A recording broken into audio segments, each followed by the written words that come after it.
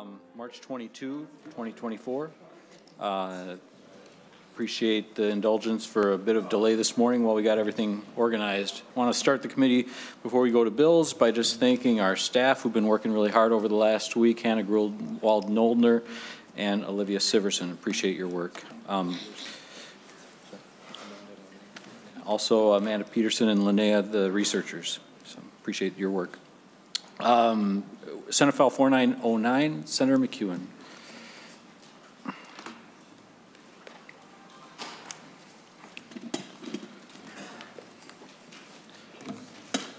Welcome to the committee, Senator McEwen. Senate File 4909 is in front of the committee, and I think you have an author's amendment, the A2.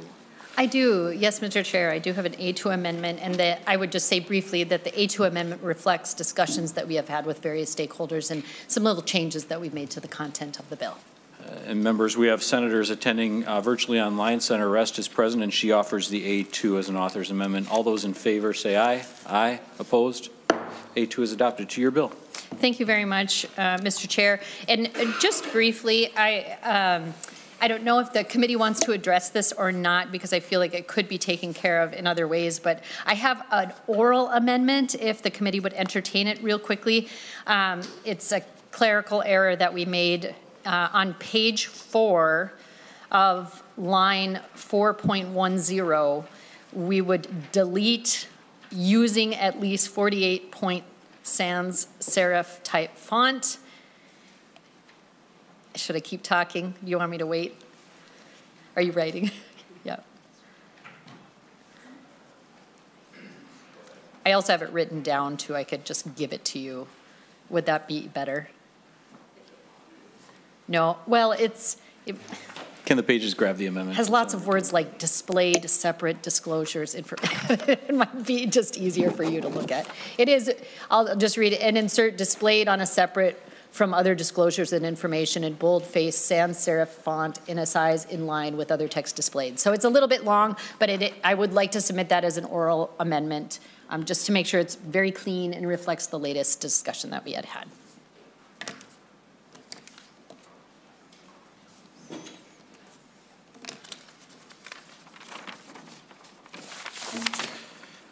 When ready, Ms. Siverson, the oral amendment. Thank you, Mr. Chair, members. Senator McEwen offers an oral amendment to the A2 DE for SF 4909, page 4, line 10, delete using at least 48 point sans serif type font and insert displayed on a separate from other disclosures and information in bold-face sans serif font in a size in line with other text displayed. Member questions or comments on the A, or on the oral amendment? Senator Seeberger offers the oral amendment just uh, announced by counsel. All those in favor say aye. Aye. Opposed? Aye. Oral amendment is adopted. To your bill. The could have been automated, it was, and you're, you know, helping people. Senator Rest, you're on Themselves through microphone. that, that's in kind of a guided way. Is it good? Okay. Senator McEwen, to your bill. After, uh, thank you very much, Mr. Chair, members. Uh, I appreciate very much the opportunity today to be able to present to you Senate File 4909 as amended. Um, this issue, the issue that this bill addresses, was brought to me by a former constituent and friend, Dr. Shannon May, whose family and uh, her family's lives were turned upside down when they lost approximately $80,000 to a scammer posing as the Carlton County Sheriff's Office chief deputy. This scammer used a virtual currency kiosk in an elaborate scheme to defraud them. Uh, her full story and her testimony about what happened to her is in your packets. And if you have a time to take a look at it, she goes into a lot more detail about what happened to her and how it all played out. But it was, needless to say, uh, had a huge impact on their family finances and their sense of security. Um, this bill uh, that we have worked on, uh, which really comes out of our consultation then over recent months with the Attorney General's Office and the Department of Commerce, as well as stakeholders uh, from the industry uh, that um, that has these currency kiosks. It puts in some common sense consumer protections and disclosures surrounding these virtual currency kiosks. This is new monetary technology that a lot of people don't understand.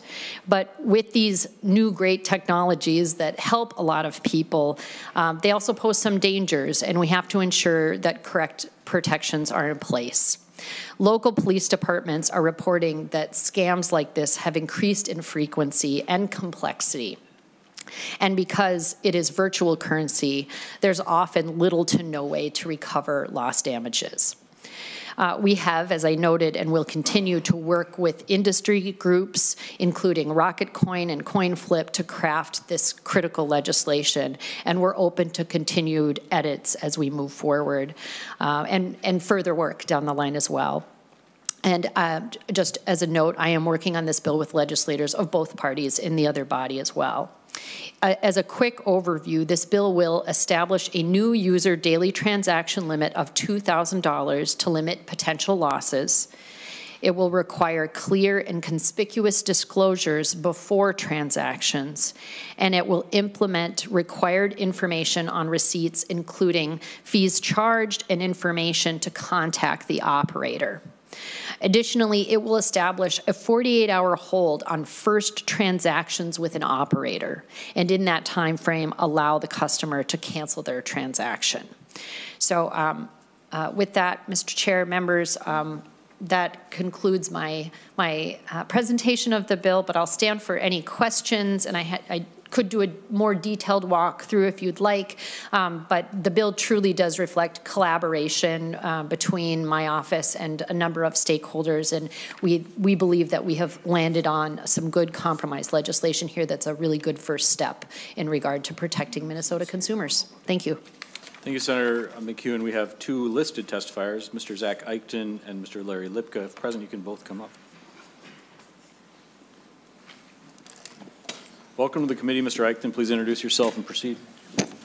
Uh, thank you, Chair Klein and members of the committee. My name is Zach Eichten. I am a uh, lobbyist with Taft Advisors on uh, here on behalf of our client RocketCoin, which is a virtual currency kiosk operator here in Minnesota. Uh, and we just wanted to come to the committee and say thank you to uh, you and your staff, as well as uh, Senator McEwen and her staff, for working really collaboratively on this legislation. Uh, over the last eight years, uh, my client has developed effective consumer protections uh, and has valuable industry perspective that it looks forward to continuing to share collaboratively with the committee and authors to strengthen uh, the consumer protections that you're looking for here in Minnesota. Uh, we stand in agreement with our fellow kiosk operators on Chair McEwen's direction of the bill uh, to make sure that robust consumer protections are in place for customers here in Minnesota and we're excited to be able to work in concert uh, with the legislature to make that happen.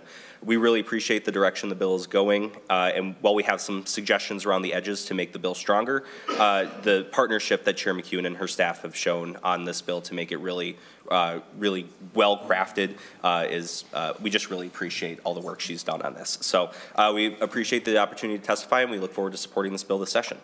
Thank you, Mr. Eichten. Mr. Lipka, please introduce yourself and go ahead. Good morning. Thank you, everybody. Uh, Chair, Vice Chair, and honorable members of the committee. My name is Larry Lipka, General Counsel for CoinFlip. Thank you for the opportunity to testify before you today. I would also like to thank Senator McEwen for giving us the opportunity to discuss this bill with her and her staff. I think we're making really good progress uh, on the bill. Um, uh, we support smart regulation that protects consumers and keeps bad actors out of Minnesota. As such, we appreciate the opportunity to offer consumer protection-focused recommendations that we know to be highly effective in preventing fraudulent transactions at crypto kiosks. Our recommendations come from our experience as the largest kiosk operator in the U.S. and, in fact, in the world.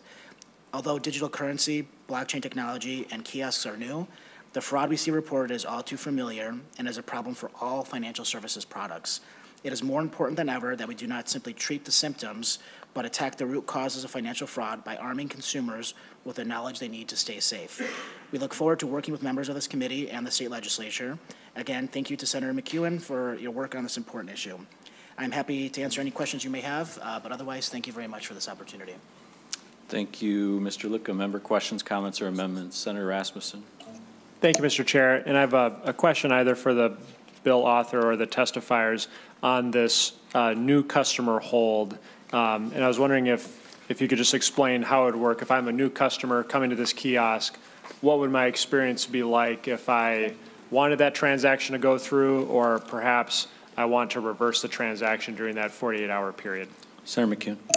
Thank you. Um, And this is one of the uh, parts of the bill that we've had some of the most recent discussion about. And I think a lot of it comes out of the experience that my uh, constituent and friend up in Duluth had had, where um, it- there was a sort of feeling, if I had just had a couple of days um, to realize what uh, was going on, I think I, I might have started to put the pieces together that this wasn't legit.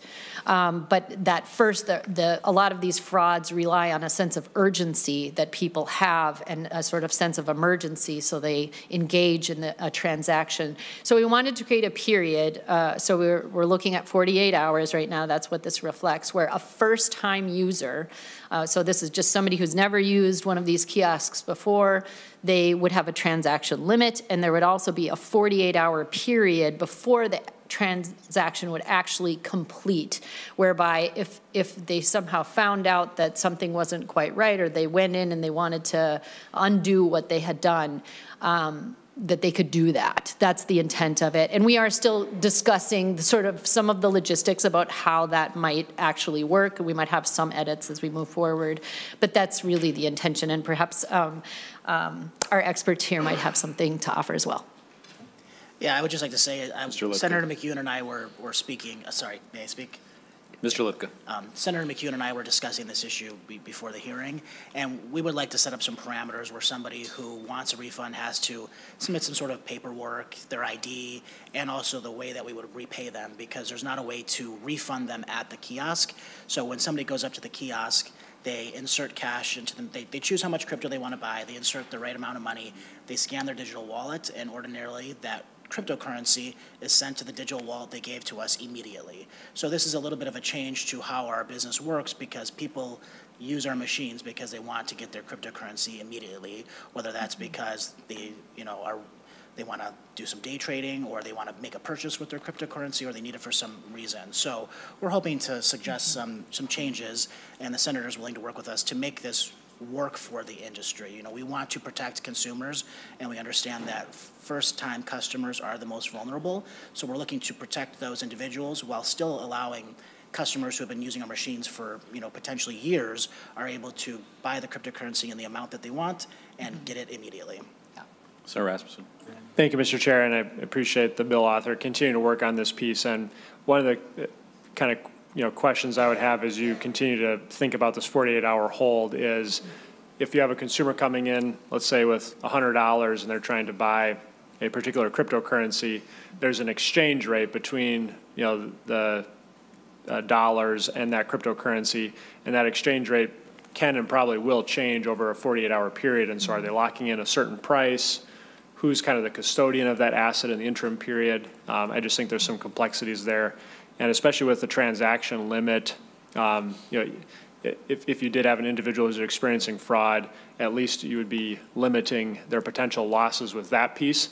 Um, And so I would just recommend thinking about some of the and I think you guys are thinking about some of the nuances there, and maybe having that transaction limit is enough protection. I know we, we always would like to have more protections, uh, but I just worry about some of the complexities, especially with uh, cryptocurrency can oftentimes be very speculative, and, and the, and the price could change a lot over 48 hours, and the impact that that could have on a consumer's financial position, uh, especially if they're buying it for the first time. Yeah, if I may, Uh. Mr. Lipka. Thank you. So one idea we had was requiring that someone provide a police report to indicate that they've been scammed, not that it's just buyer's remorse, that I, you know, that the price of Bitcoin has gone down, I no longer want it, I want a refund. So we're working with the senator on that to ensure that there are some parameters so that this isn't just buyer's remorse, that we're truly refunding victims of scams. And I think a police report is one small step in the right direction to ensure that this isn't just buyer's remorse. Members, the intent is to lay this bill over. It is going to show up later this morning uh, in our omnibus bill, and there will be two issues to be addressed. One is the oral amendment that was added on, and the other is this ongoing discussion about the 48-hour waiting period. I want to commit to the committee that uh, we'll be receptive to fixes, and the author's been working with us uh, on conference committee uh, repairs to that. Other member questions or comments? Members online? Senator McEwen, any closing comments? I just want to thank, thank you, Mr. Chair, and thank you to the committee for considering this bill. Uh, Really, really glad we've been able to do this work this year. Senate File 4909 as amended is laid over. Senator Port. Thank you. Thank you.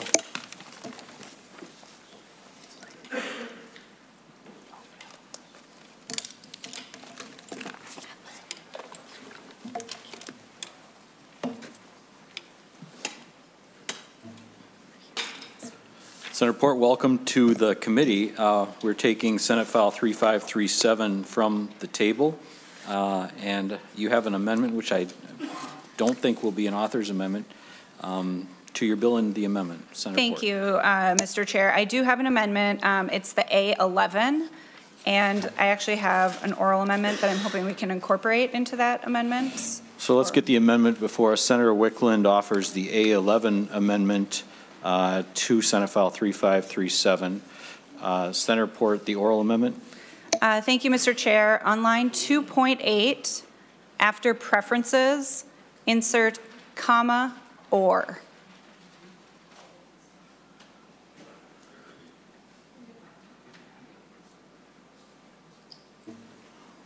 Counsel will report the oral amendment. Thank you, Mr. Chair. This will be amending Senate File 3537 as amended by the A11. Page 2, line 8, after preferences, insert comma or.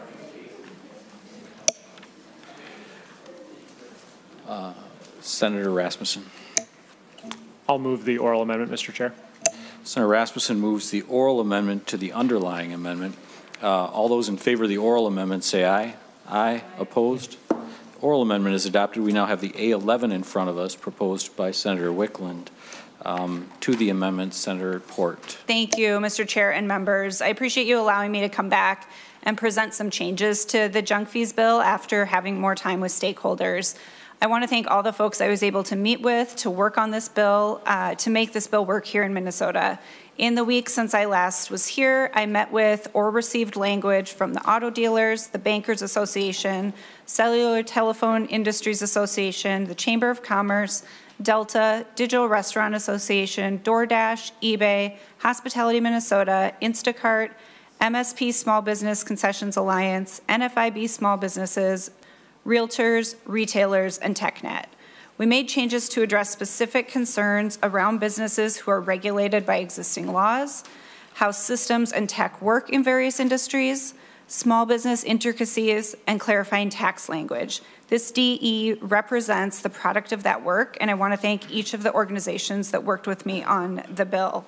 Uh, Members, if you look at lines 1.7 and 1.8, this is clarifying language from Tax Counsel, um, which helped us uh, clarify that really the measure that we wanted to put in trying to define taxes or fees, uh, that they both are defined under tax law, and it really is specifying that the point of sale is uh, the triggering aspect to make sure that it's covered in this bill. So I appreciate Tax Counsel's help with that. Um, Line 1.9 and 1.20 uh, was language that we worked with the auto dealers on. In the paragraph on 1.22 to 1.25, we removed the acknowledgement requirement that um, would have required businesses to really rebuild their websites. Um, In 2.7 to 2.10, this was really clarifying language that worked for a lot of small businesses. Um, As we were talking to a gentleman who's a tree trimmer, uh, and his price really depends on how far he has to go and um, like the size of the tree that he's taking down. Um, and so we wanted to give options to clarify that when it's difficult to list the actual price. And the final uh, change was in 2.18 to 2.20, which we worked with the realtors on. Uh, Thank you, Senator Port, and uh, your hard work is reflected in the fact that we have a very small list of testifiers today. Um, uh, Let's adopt the amendment before we go to testifiers. Uh, Having any questions or further member comments on the A11? All those in favor say aye. Aye. Opposed? A11 is adopted. Ms. Jill Sims and Mr. John Reynolds, please come forward.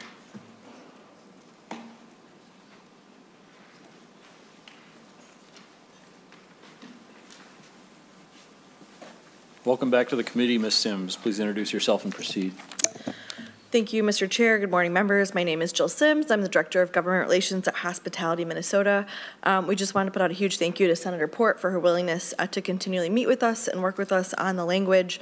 Um, there were two things we wanted to address today. It was one was the effective date, and we saw the A11 reflecting that 2025 implementation, which will be really helpful for our um, small businesses. So thank you. Uh, and the second is uh, around fees, government fees. I know Senator Port just addressed some of this. Um, our initial ask on 1.17 was to include or fees. I know um, there's been discussion that Senate uh, or the tax counsel has indicated that that is covered. So we would just ask that um, there's Department of Revenue guidance for our businesses so that they know that retail delivery fee, tourism improvement district fees are included in the tax. So again, our, our ask would just be that uh, there's Department of Revenue guidance. And that's it. Really simple today. Thank you. Thank you, Ms. Sims. Mr. Reynolds, please go ahead. Uh, Thank you, Chair Klein. John Reynolds, the State Director for the National Federation of Independent Business. Uh, I want to echo uh, Jill's comments and thank Senator Port for her willingness to meet and uh, work through our issues, uh, any concerns with the bill. Um, and uh, same, we, uh, well, we really appreciate that. Um, we appreciate the clarification about the meaning of taxes on line 1.17, and uh, we appreciate the inclusion of the language in paragraphs G, H, and I, in particular G, lead G for our members who are small service providers who try to do the right thing both for their customers and their businesses or their prospective cu customers and the business by providing uh, as much pricing information as they possibly can uh, up to the point at which uh, the final charge becomes very customer specific. So this language in paragraph G is important for protecting them and their ability to communicate um, informational pricing information to their customers. So thank you, Senator Port, and thank you, members. Member questions, comments, or amendments on Senate File 3537? Question is on the motion of Senator Seeberger that Senate File 3537 as amended be recommended to pass and referred to the Senate floor, sent to the Senate floor. Senator Rest, did you have discussion? Um, I gleaned a number of good ones from uh, Mark's presentation. All those in favor say aye. Aye. Opposed? Review process. Bill is on its way to the Senate floor. Thank you, Senator Port. Senator Port, uh, Senate File 4782.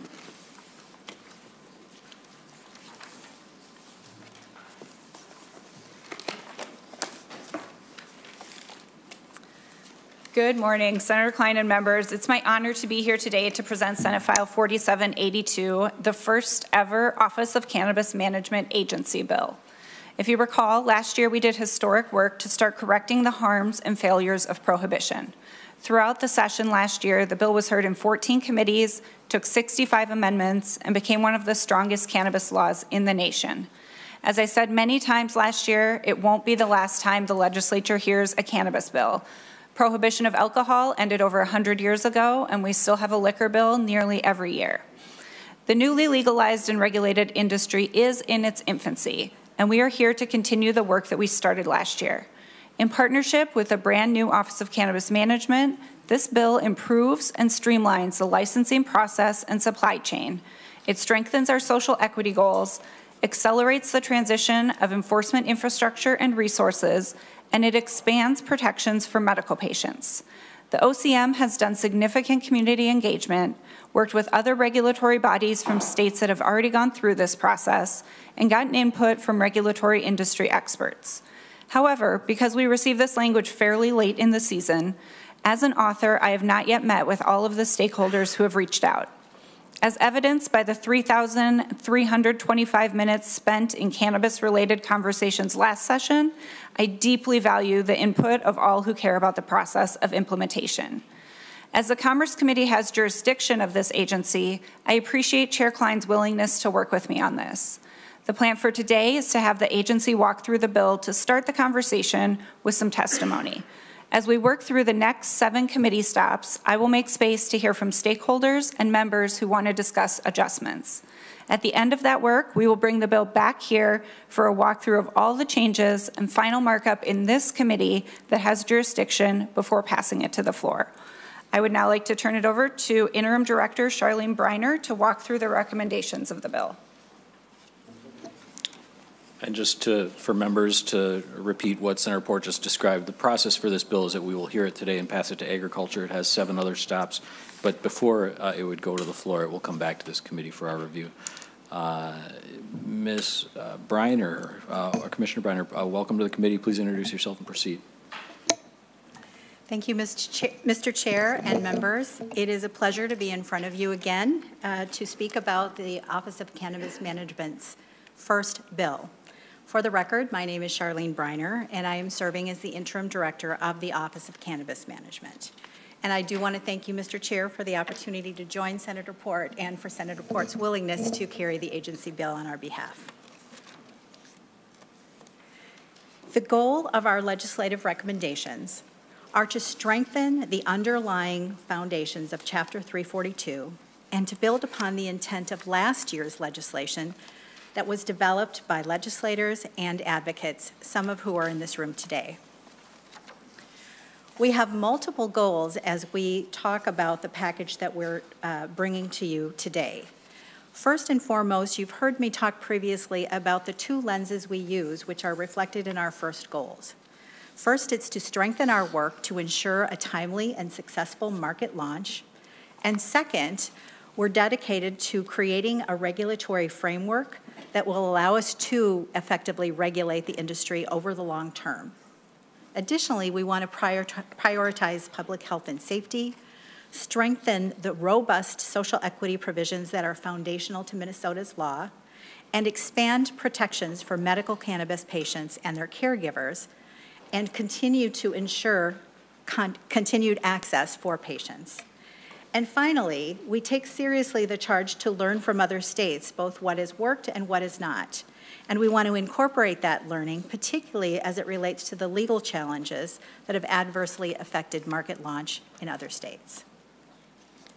To inform these recommendations, and given the complicated nature of this industry and the many lessons that we have learned from other states, this package represents our best thinking about the, way, the best way to meet our shared goals for a Minnesota market and to create and to ensure a timely launch with effective regulation.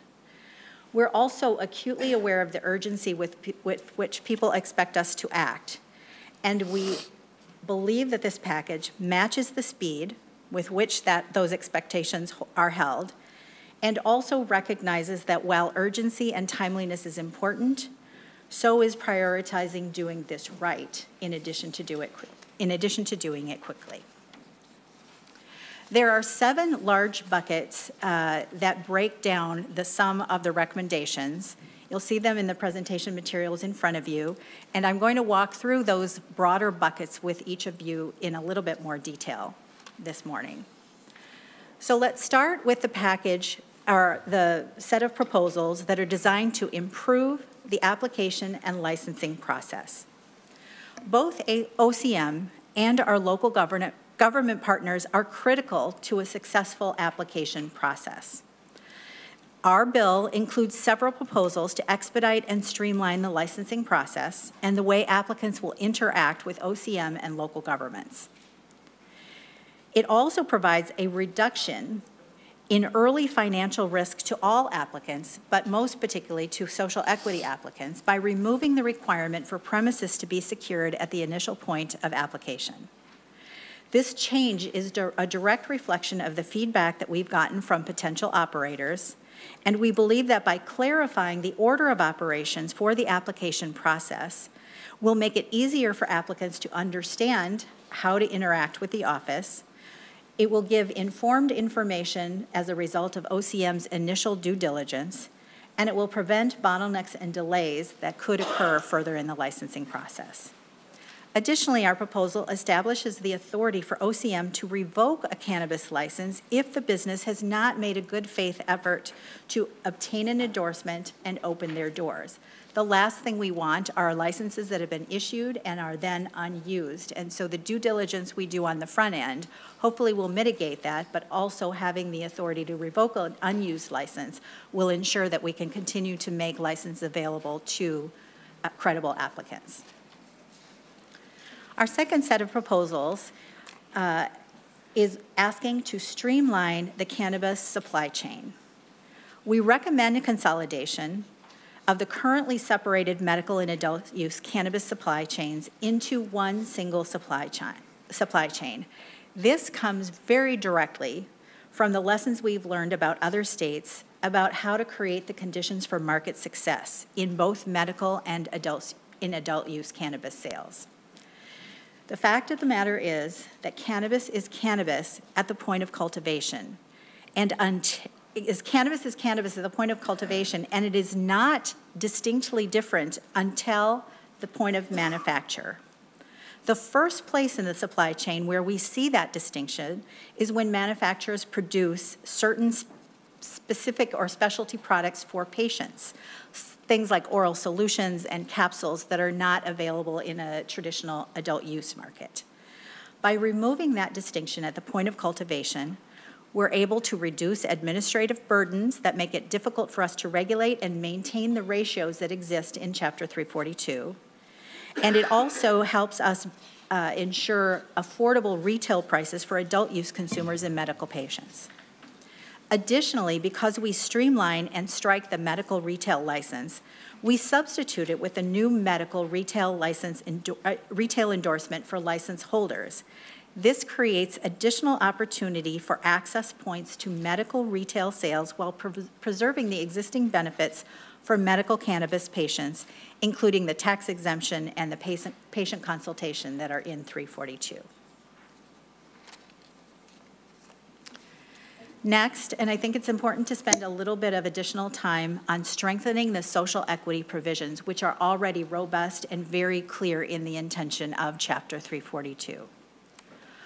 We believe, and we have heard from advocates, from stakeholders, and from many of you that we've had conversation with about the process of bringing this law into reality, that Chapter 342 is intended to support people who have historically lacked capital and political influence and access to traditional levels of power.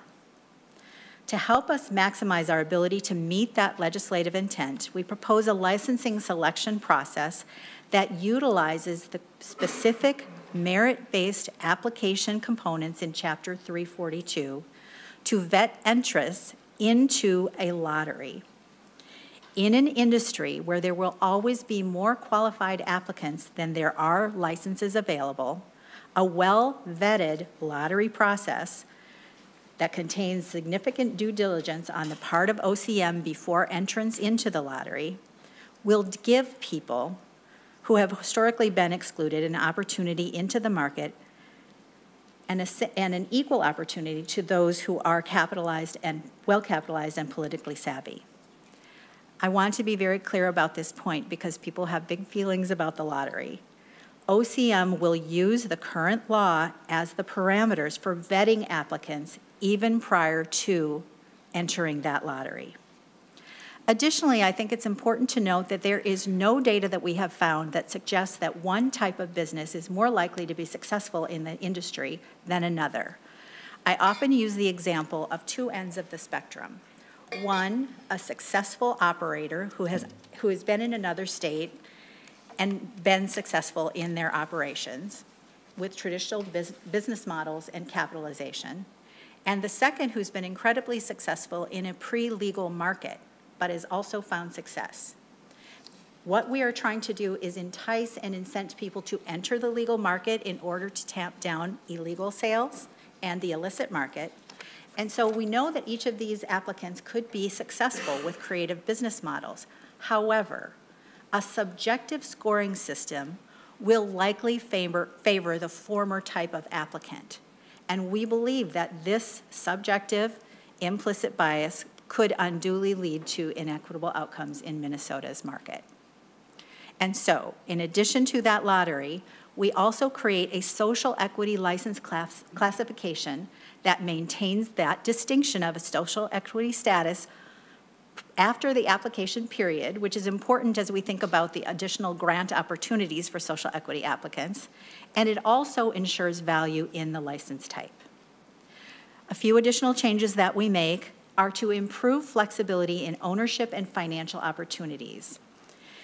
Right now, Chapter 342 requires 100% ownership or controlling interest by a social equity applicant. We propose bringing this down to 65% to allow for opportunities for creative partnerships and access to capital in an industry in which it's incredibly hard to secure it because traditional methods of financing are not available. This also opens the door for those uh, partnerships to pursue capital and financial deals while also protecting the high threshold of ownership originally envisioned in 342. National averages for ownership requirements for social equity applicants range between 51 and 60 percent, and so this still maintains the high threshold envisioned by uh, authors and advocates last year, but also does provide that flexibility in financing. And then finally, we also would ask uh, for the, we propose giving social equity applicants, or I'm sorry, the licensees, the ability to freely transfer those licenses after three years. Right now, they are only allowed to transfer those licenses to other social equity entities. And while well-intentioned to protect the license type and classification, that also limits the opportunity for these, for operators who have done well but now want to move on uh, to, to sell their business and build generational wealth. That sort of restriction does not typically occur in other industries, and we believe that it would be appropriate not to place those restrictions after the first three years in, in operation. Our next bucket of proposals are in support of a timely market launch and, you, and through the use of temporary licenses. We hear often people's urgency for us to stand up this market, and we agree that doing our best to minimize the time between legalization and market launch is in everybody's best interest. Our proposal creates a mechanism for OCM to establish an application process in the summer of 2024, um, just mere months from now. uh, those limited early licenses for social equity applicants. This language does not allow operators to touch plants, but does offer a substantial early mover advantage so that those licensees can establish business operations and prepare for the adoption of rules. A temporary early license for social equity applicants allows the assurance of a license that is critical in preparing a business, preparing to open a business. We have seen that the biggest impediment to social equity applicants entering a market is the lack of access to capital because of the, the reasons I mentioned earlier. It is just not easy to secure capital when uh, cannabis is still a federally scheduled controlled substance. By doing so, we give an advantage to social equity applicants in obtaining that early license, we accelerate our path to market launch, and we allow the entire industry to allow for an arduous application and vetting process to get to begin sooner rather than waiting for those rules to be adopted. Again, I would remind you that this application process for temporary licenses will also include the vetted steps of a lottery, including social equity status verification and thorough review of the merit-based licensing criteria in Chapter 342. Next, we want to accelerate the transition of the Office of Medical Cannabis and hemp-derived enforcement. Chapter 342 already accounts for the transition of the Office of Medical Cannabis and gives authority for the hemp-derived program to move from the Department of Health to the Office of Cannabis Management. We propose accelerating this transition from March of next year to July of 2024. This allows us to, early, to integrate those operations earlier. It allows for continuity of operations and foundational capacity for OCM, which is still in the fledgling stand-up stages. And it gives us consistency, consistency in our enforcement of regulations.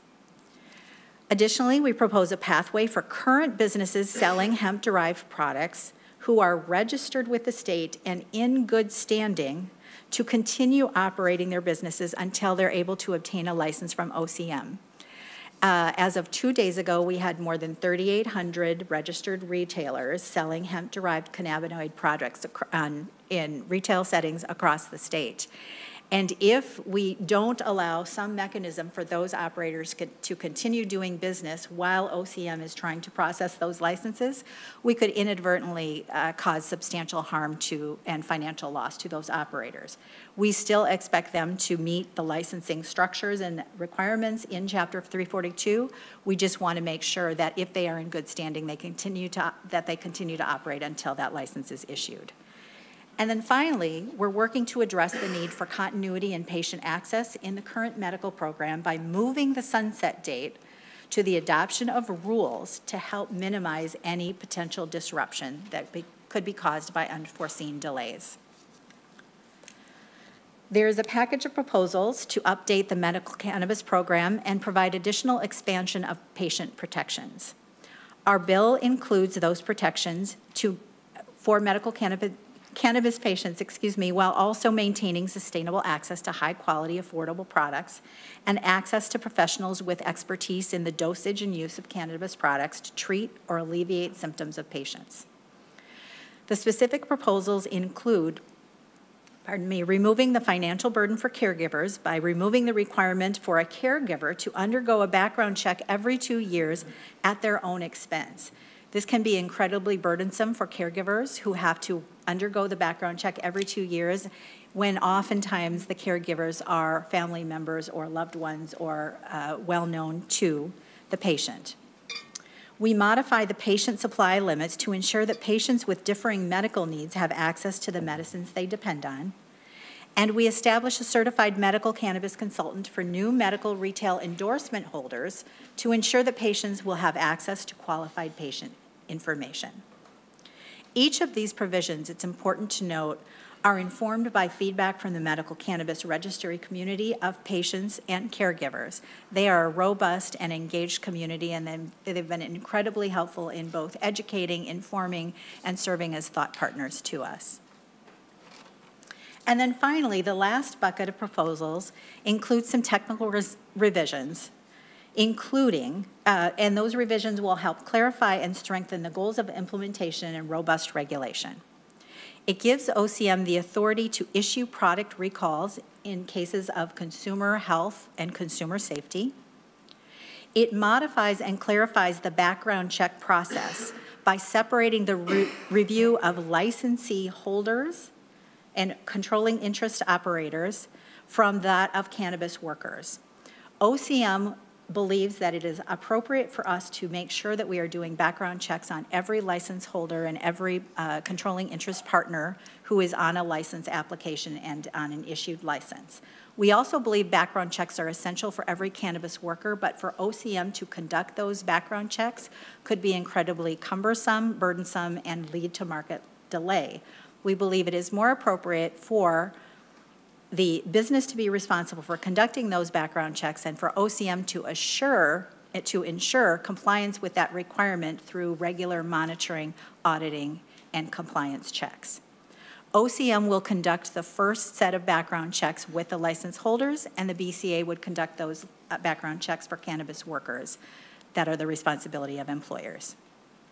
We also outline high-level offenses that show a history of exploit, exploitation of people or financial systems, because we do not believe that uh, license holders should have uh, been found convicted or found guilty of uh, those, those serious crimes. We also allow for research expansion by academic institutions, and then finally, we align the authority of the OCM director with that of other state agency heads to allow them to make the necessary decisions that will ensure high standards of operational efficacy and efficiency. And so with that, I gave you a lot of information in a relatively small amount of time, and happy to turn it back over to Senator Port. Thank you, Interim Director Briner. And before we go further, let's get the bill in the shape the author would like it. Senator Wiklund offers the A1 amendment as an author's amendment. All those in favor say aye. Aye. Opposed? A1 is adopted. Before we go to testifiers, I'll keep the interim director at the table to see if there are member questions or comments for her. In that case, thank you so much. Oh, Senator Frentz. Yes, thank you. I did have a couple questions um, for the director, if you're taking them now, and I can also wait till after the testifiers, your preference. Senator Frentz, to your questions.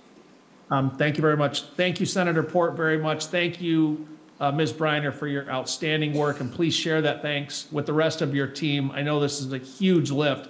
I just had a couple questions on behalf of some of the Minnesotans hoping to get the licenses.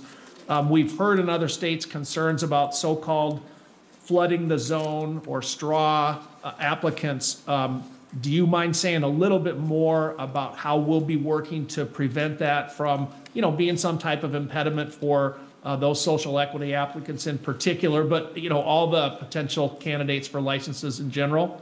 And thank you again. If I didn't mention it, thank you for all your great work. Thank you. Interim director. Thank you, Mr. Chair. Thank you, Senator Frentz, and I will definitely share your kind words with all of the staff that is working on this, both permanent OCM staff, the MDH team, as well as our uh, implementation team. This is not the work of one person. It is definitely a team effort and a team lift. Um, Thank you for that question. I want to make very clear, this is not pay to play. This is not an opportunity uh, to flood the system, as you, as you indicated. There is an important piece of our proposal that uh, folks should understand. It includes two tracks in the lottery round. There is the first round of, of lottery for verified and vetted social equity applicants. If they are not successful in obtaining a license in that lottery, they are automatically at no cost entered into the general lot- lottery, giving them a second bite at the apple. And so uh, that is an important consideration. It is not a per shot sort of, you buy more tickets and you get more access. Second, we also know that there are substantial license fees in the bill for most license type that correspond with the, the expense and industry knowledge required to open a business. That is a measure of skin in the game. Um, and those and it also reflects the kind of capital that's required to open the businesses. Um, take, for instance, a cultivator's license. Building a facility costs millions of dollars, and the fees to apply for that license are not insubstantial.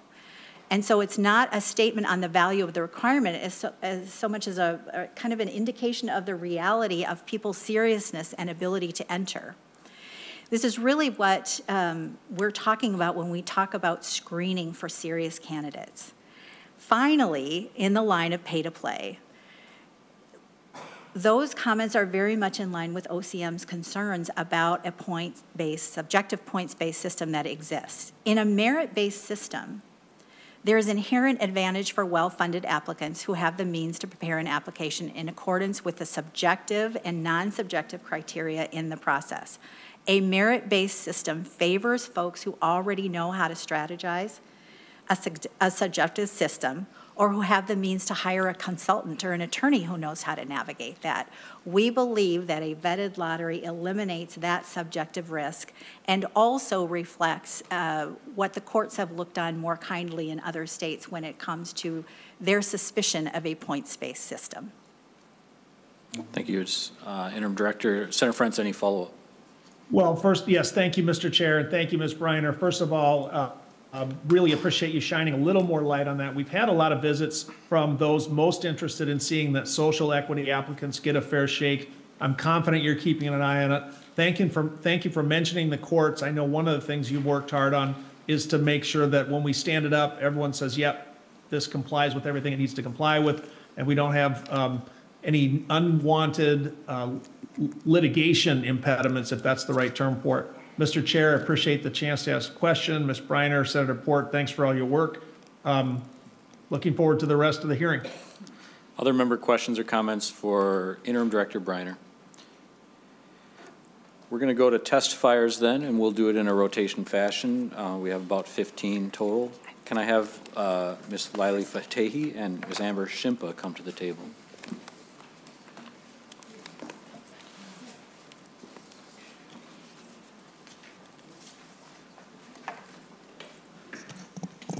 Welcome to the committee, Ms. Fatehi. Please introduce yourself and proceed. Thank you, Mr. Chair and members. My name is Leili Fatehi, and I serve as the director of the Minnesota Cannabis Resource Center. Our mission is to advance a safe, equitable, and thriving cannabis industry in Minnesota. Built on the footprint of the MN is Ready Coalition, MCRC champions the principles that guided Minnesota's cannabis legalization. Last session, through an unparalleled collaboration between our legislators and local cannabis policy stakeholders, we created what is now known nationwide as the Minnesota model, the most innovative legislation enacted since Colorado first legalized over a decade ago. The Minnesota model is a testament to our collective vision of fostering an equitable, inclusive, and locally beneficial cannabis industry. It prioritizes Minnesota businesses and building a craft cannabis economy that benefits our local communities. Another hallmark is the hemp-derived THC product market that we invented in 2021, which is an invaluable on-ramp for small businesses to establish their presence and build capital en route to the adult use market. We're at a critical junction at the cusp of realizing the full potential of the Minnesota model. Large, moneyed, out-of-state interests are betting on our failure.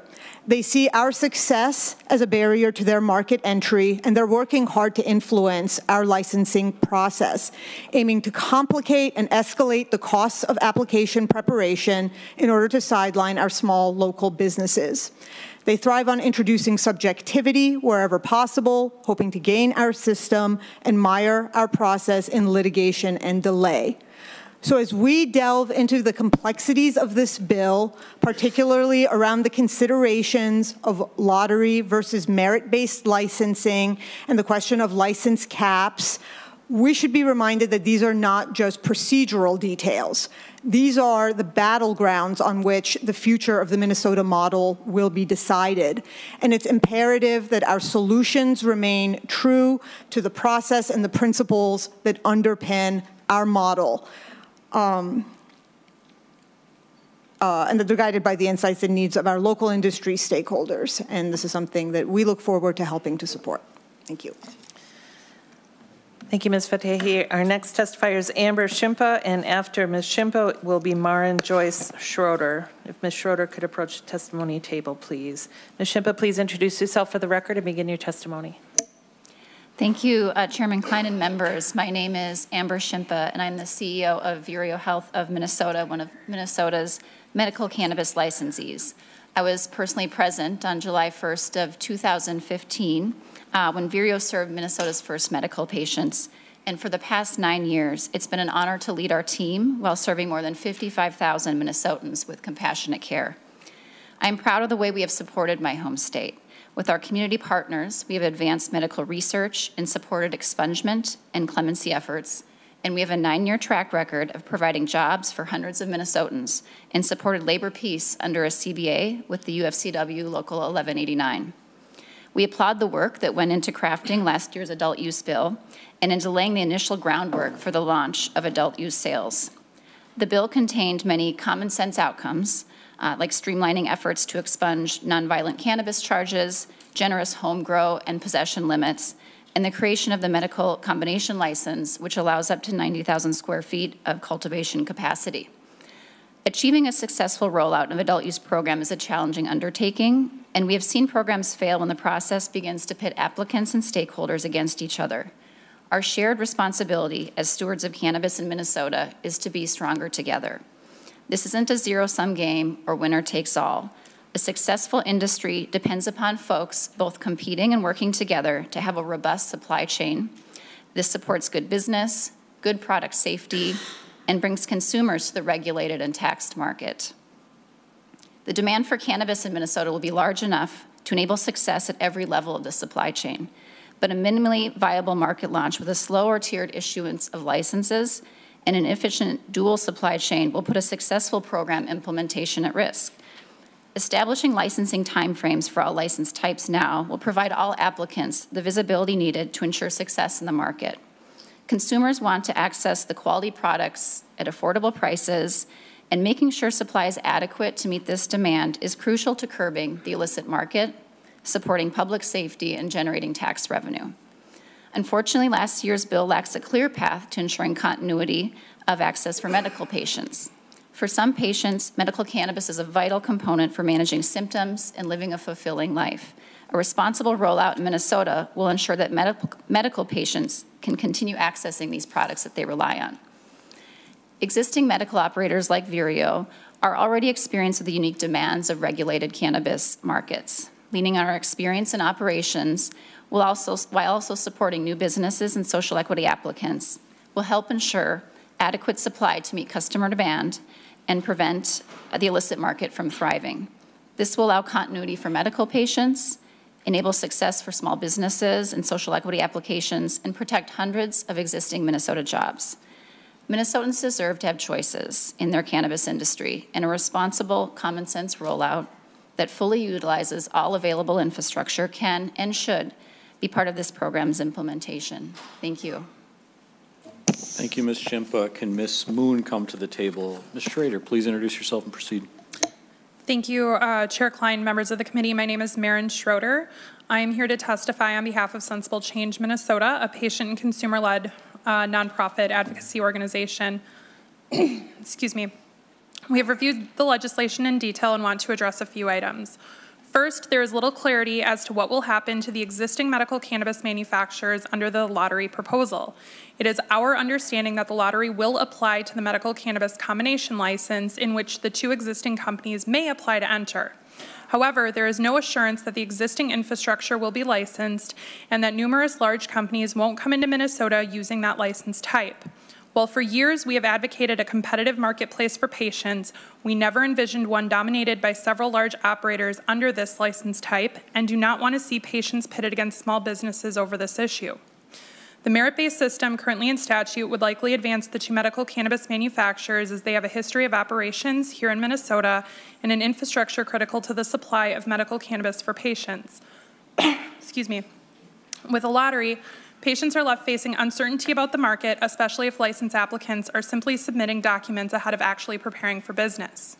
Further, the proposed changes from a merit-based system to a lottery and the removal of prioritizing applicants who will serve the medical cannabis market puts into question the quality, pricing, and access to the medical cannabis products throughout the state.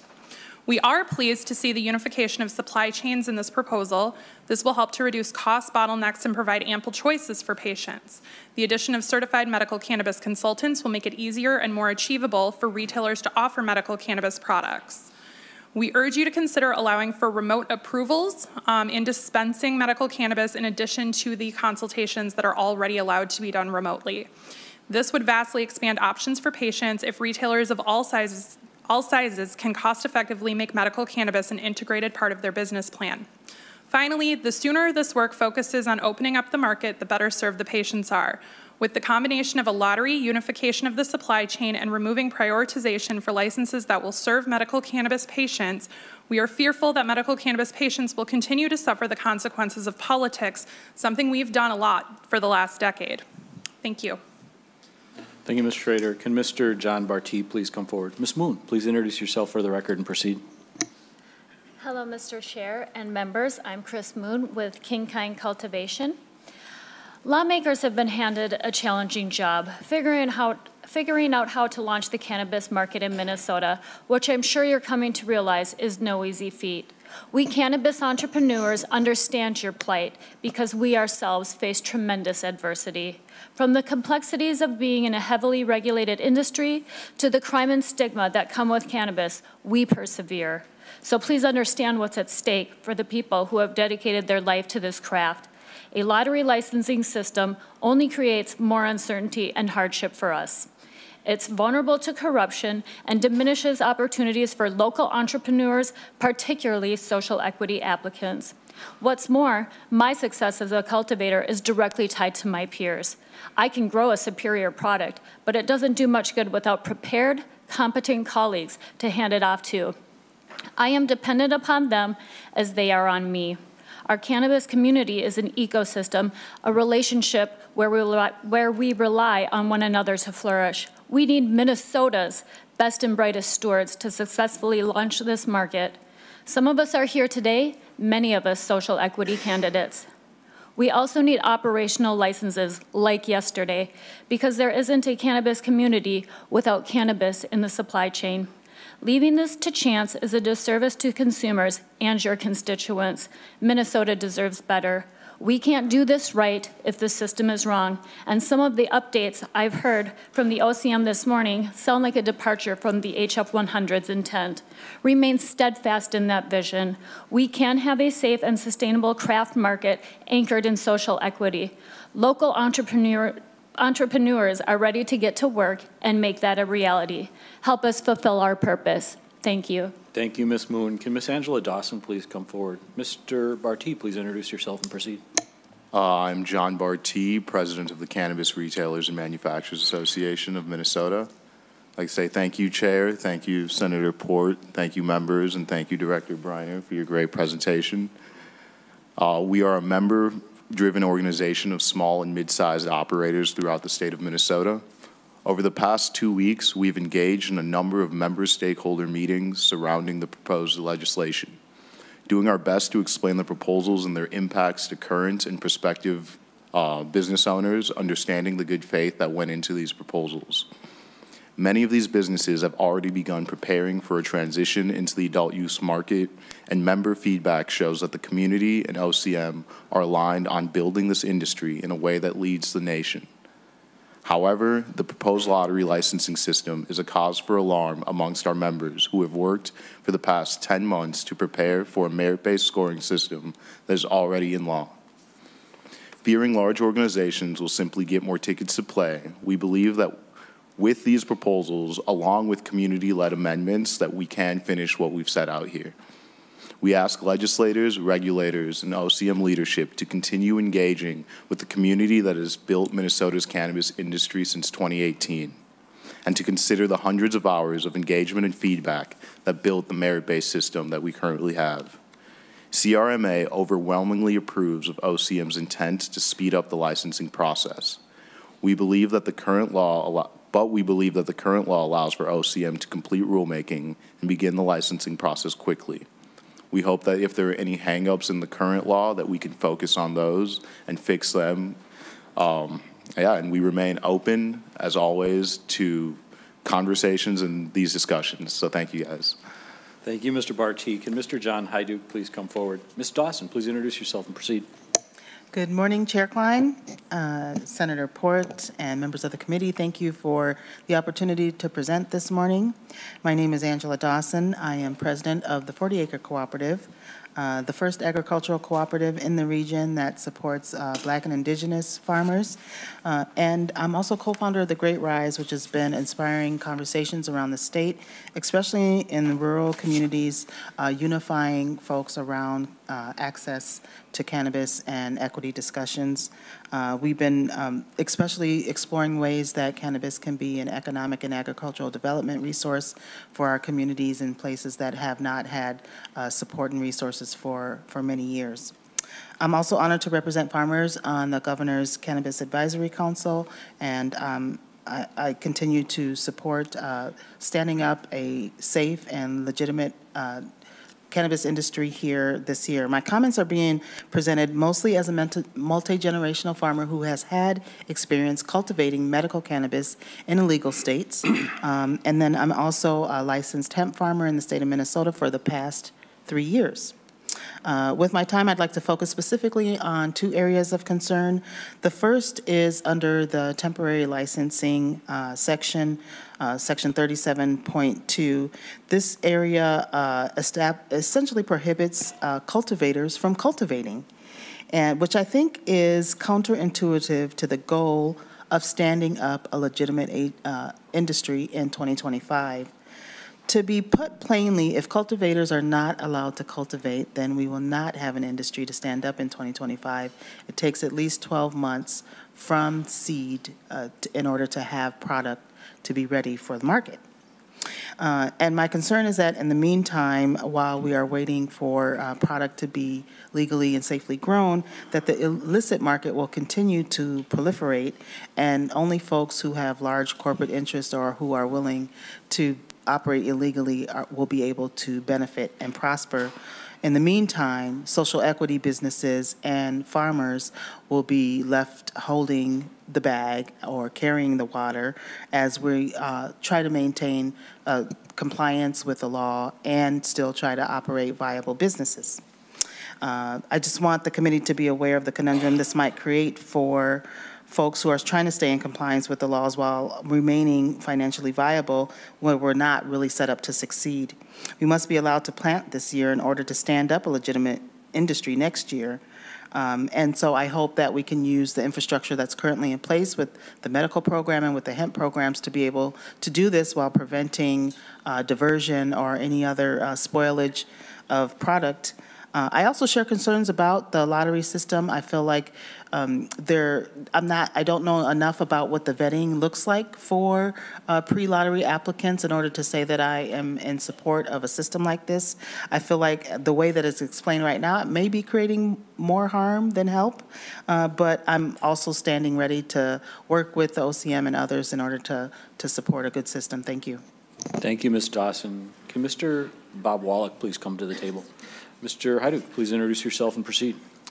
Thank you. Uh, John Hyduk, uh, partner in Highway 35 Cannabis, uh, also board chair of the Minnesota Marijuana Association. Uh, Mr. Chair, members, thank you for having me here today. Uh, I am a lifelong resident of Minnesota, growing up in uh, Hibbing, raising my family in Duluth. Currently live in Eden Prairie and operate my business marketing company in the North Loop of Minneapolis. Um, the MMA was organized to build a coalition of like-minded enthusiasts from both across and outside the state, including all groups of size, both SE, social equity, and commercial, using the cornerstone legislation uh, from 2023 uh, as our guiding North Star to prepare and get ready to stand up the newest industry in our, in our cannabis uh, industry safely with stability and certainty. Uh, our th Highway 35 project that I'm involved in is to provide an economic boost and stability to a region I grew up in and vowed to help with job creation one day. And that time has come with this new legalized cannabis uh, industry. Uh, the ability to partner with experience was critical to the business plan, which calls for social equity partnering to ensure the intent of the legislation is carried out uh, better and more successful than any other state uh, in the country. Uh, we believe merit-based, not lottery, uh, is the fair way uh, which needs operators to uh, be ready to operation, operationalize a license and prevent gamesmanship. Uh, merit is the legislation that all these folks, uh, our members, have been preparing for with time, resources, money, and are ready to stand up the industry. A lottery is a game of chance.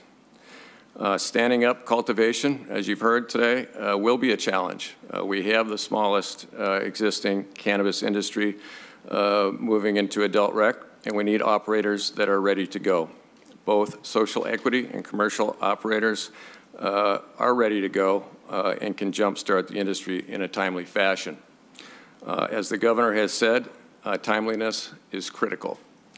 In terms of litigation. Uh, litigation will come, but it doesn't have to interfere with the standing up of the industry, and it hasn't in most states, and that, uh, uh, that have run the merit-based system. A well-run, transparent, merit-based system, as envisioned by the 2023 statute, can be insulated from the risk of litigation.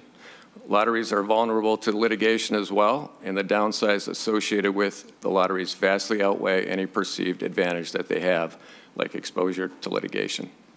Thank you. Thank you, sir. Uh, can Hollies Winston please come to the table? Mr. Bob Wallach, please introduce yourself and proceed. Thank you for the opportunity to speak today to the committee. Thank you, Senator Port. My name is Bob Wallach. I'm the co-founder and chief operating officer of CannaJoy MN. We're a mom and pop seed shop in South Minneapolis, living our dream, owning and operating our smart store. Um, we'd like to think we meet people where they're at on their seed and weed journey by guiding customers and home growers to finding the right hemp-derived products and seeds for their home grow. I've come here today to request that you please continue to keep small businesses in mind, ones like ours. The additional burden of a lottery is a probability for our finances that is hard to swallow. I think the reality of a merit-based system and the potential corruption and complexities that can come with creating a system that will find the best players in the industry is probably a foolhardy choice. We are left with two options. One that's nearly impossible to pick the best players by whatever system we decide to create, or one where we do it randomly. I would propose a third option, one where we give licenses to nearly all that are applied. In this case, we don't stop the freedom of those individuals who want to start a business. And we don't create subjective rubrics that stop and only are allowing some companies to start operations. I understand this might seem different from prior legislation or from current legislation, but it's the only option that realistically avoids corruption and at the same time stops the infuriating nature of a lottery. Thank you for the opportunity. Thank you, sir. Can Rashad Iman please come to the table? Mr. Winston, please introduce yourself and proceed. So my name is uh, Hollies Winston. I just uh, want to make it clear, uh, I am mayor of a city in the metro area. I'm not here in that capacity. Uh, I am here, uh, and I want to thank the committee and chair for allowing me the opportunity to speak. I am here uh, as someone who works for the Coalition for Equity and Legal in Legalization. We were asked to get involved with this for two reasons. Uh, One, the stated purpose of much of this legislation was to undo the harm from the war on drugs, uh, but also to give opp- opportunity to folks who are affected by that uh, as well, which we think can really affect some of the disparities that Minnesota's been dealing with quite some time, whether it comes to unemployment, whether it comes to wealth or uh, business ownership. We also work with organizations like Create C, who you'll hear from shortly. I think we're opposed to the bill uh, as it's written currently is because it disincentivizes uh, businesses from getting involved, especially uh, BIPOC, people of color, African American owned businesses where there's already a struggle for capital. When you throw a lottery into place and people have had to spend $300,000 up front, there may be better returns on investment for them uh, because it's just so risky. Uh, I think the other piece is that it does encourage the use of straw applicants, people who come in and will use, for lack of a better word, a bunch of black faces or brown faces to put as many applications as the pool as they want. Uh, and there's ways to still hit the minimal qualifications and play that straw game. I think uh, this does not embed equity into the process. So when you think of some of the racism that people are concerned about uh, in terms of people getting licenses, putting a, a, a lottery in place rather than looking at some of the underlying causes for what, why people haven't gotten licenses across the country uh, is a serious concern. I think you have to deal with the equity piece head on. You cannot deal with it simply through chance. Uh, it also moves the goalpost. So uh, when you've asked people to bring their, put their best foot forward, put investment forward, do all the work necessary, and then you say, well, we're going to throw a lottery at you, that runs contrary to just basic American principles of fairness. So I think we are advocating very, very much for a uh, point system. We do understand the uh, early temporary uh, licenses will help with uh, the flow of capital, but I think and then I'll close on this. I think it's incredibly important when um, you have the OCM that there's an opportunity to really address some of the disparities that we're seeing at the state. The way it looks right now, it's either going to just continue those disparities, or at worst, if this is botched, you will increase those disparities because you will create a brand new industry in which people of color are losing out, and those disparities become even worse. Thank you. Thank you, Mayor Winston. Can Calandra Revering come to the table? Uh, Senator Frentz, we see that you're looking for acknowledgement. We're going to get through our testifiers, and then we will call on you. Uh, Mr. Iman, please uh, introduce yourself and proceed. Thank you, Chair, and thank you, committee. Excuse me. I'm a, um, sorry. I'm a uh, business owner, and I'm with the Collective for Racial Equity and African American Talent in Cannabis, or CREATE-C. Uh, we have uh, 14 members, uh, business owners, business owners and community members, whose goal is to create jobs and opportunities for black and brown uh, people who have mostly been affected by the prohibition of cannabis. Um, it's extremely difficult uh, in getting a collective of people to trust the possible outcome of an opportunity that may not happen with people who have a history of being marginalized, taken advantage of in all aspects, especially financial commitment, where now you implement a lottery that says, thanks for the efforts, nice try. Um, we are, we've been the most affected by the war on drugs. I mean, if not, if you don't know that, watch the movie 13th by director uh, Ava DuVernay, DuVernay on Netflix. If social equity is important to this industry and the OCM, then you may want to listen to the people who have uh, the most experience in that aspect and been the most affected. We've always been, been we've always had uh, been missed out on opportunities when it comes to a lot of the industry train changes, whether that's the industrial age, whether that's dot com, uh, whether that's Bitcoin, cryptocurrency, et cetera, et cetera. We're always on the tail end of the aspect, and we're trying to, you know, basically get ahead of the game, if you will. Our goal, the goalpost is always being moved. The OCM says that the lottery, they'll, they will be vetting applicants beforehand. But if biases exist and those vetting don't represent me, we're still subject to those to how individuals feel. This is why we want license based on hard work and determination rather than a lottery. We've shared our concerns with the OCM, but it's fallen on deaf ears. Apparently, rather than listening to the people with the merit whose community has been most affected by the prohibition, uh, they believe they know what's best. We don't need hand-holding. We're intellectuals, professionals, business owners, business owners, and we're perfectly capable of protecting ourselves from outside predators, if you will. Create C uh, is uh, equity through social equity of cannabis, and we're just looking for our fair chance, if you will. Thank you. Thank you, Mr. Iman. Can D. Tommy Beavis please come forward? Ms. Revering, please introduce yourself and proceed. Good morning, Chairman and members of the Senate. My name is Calandra Revering.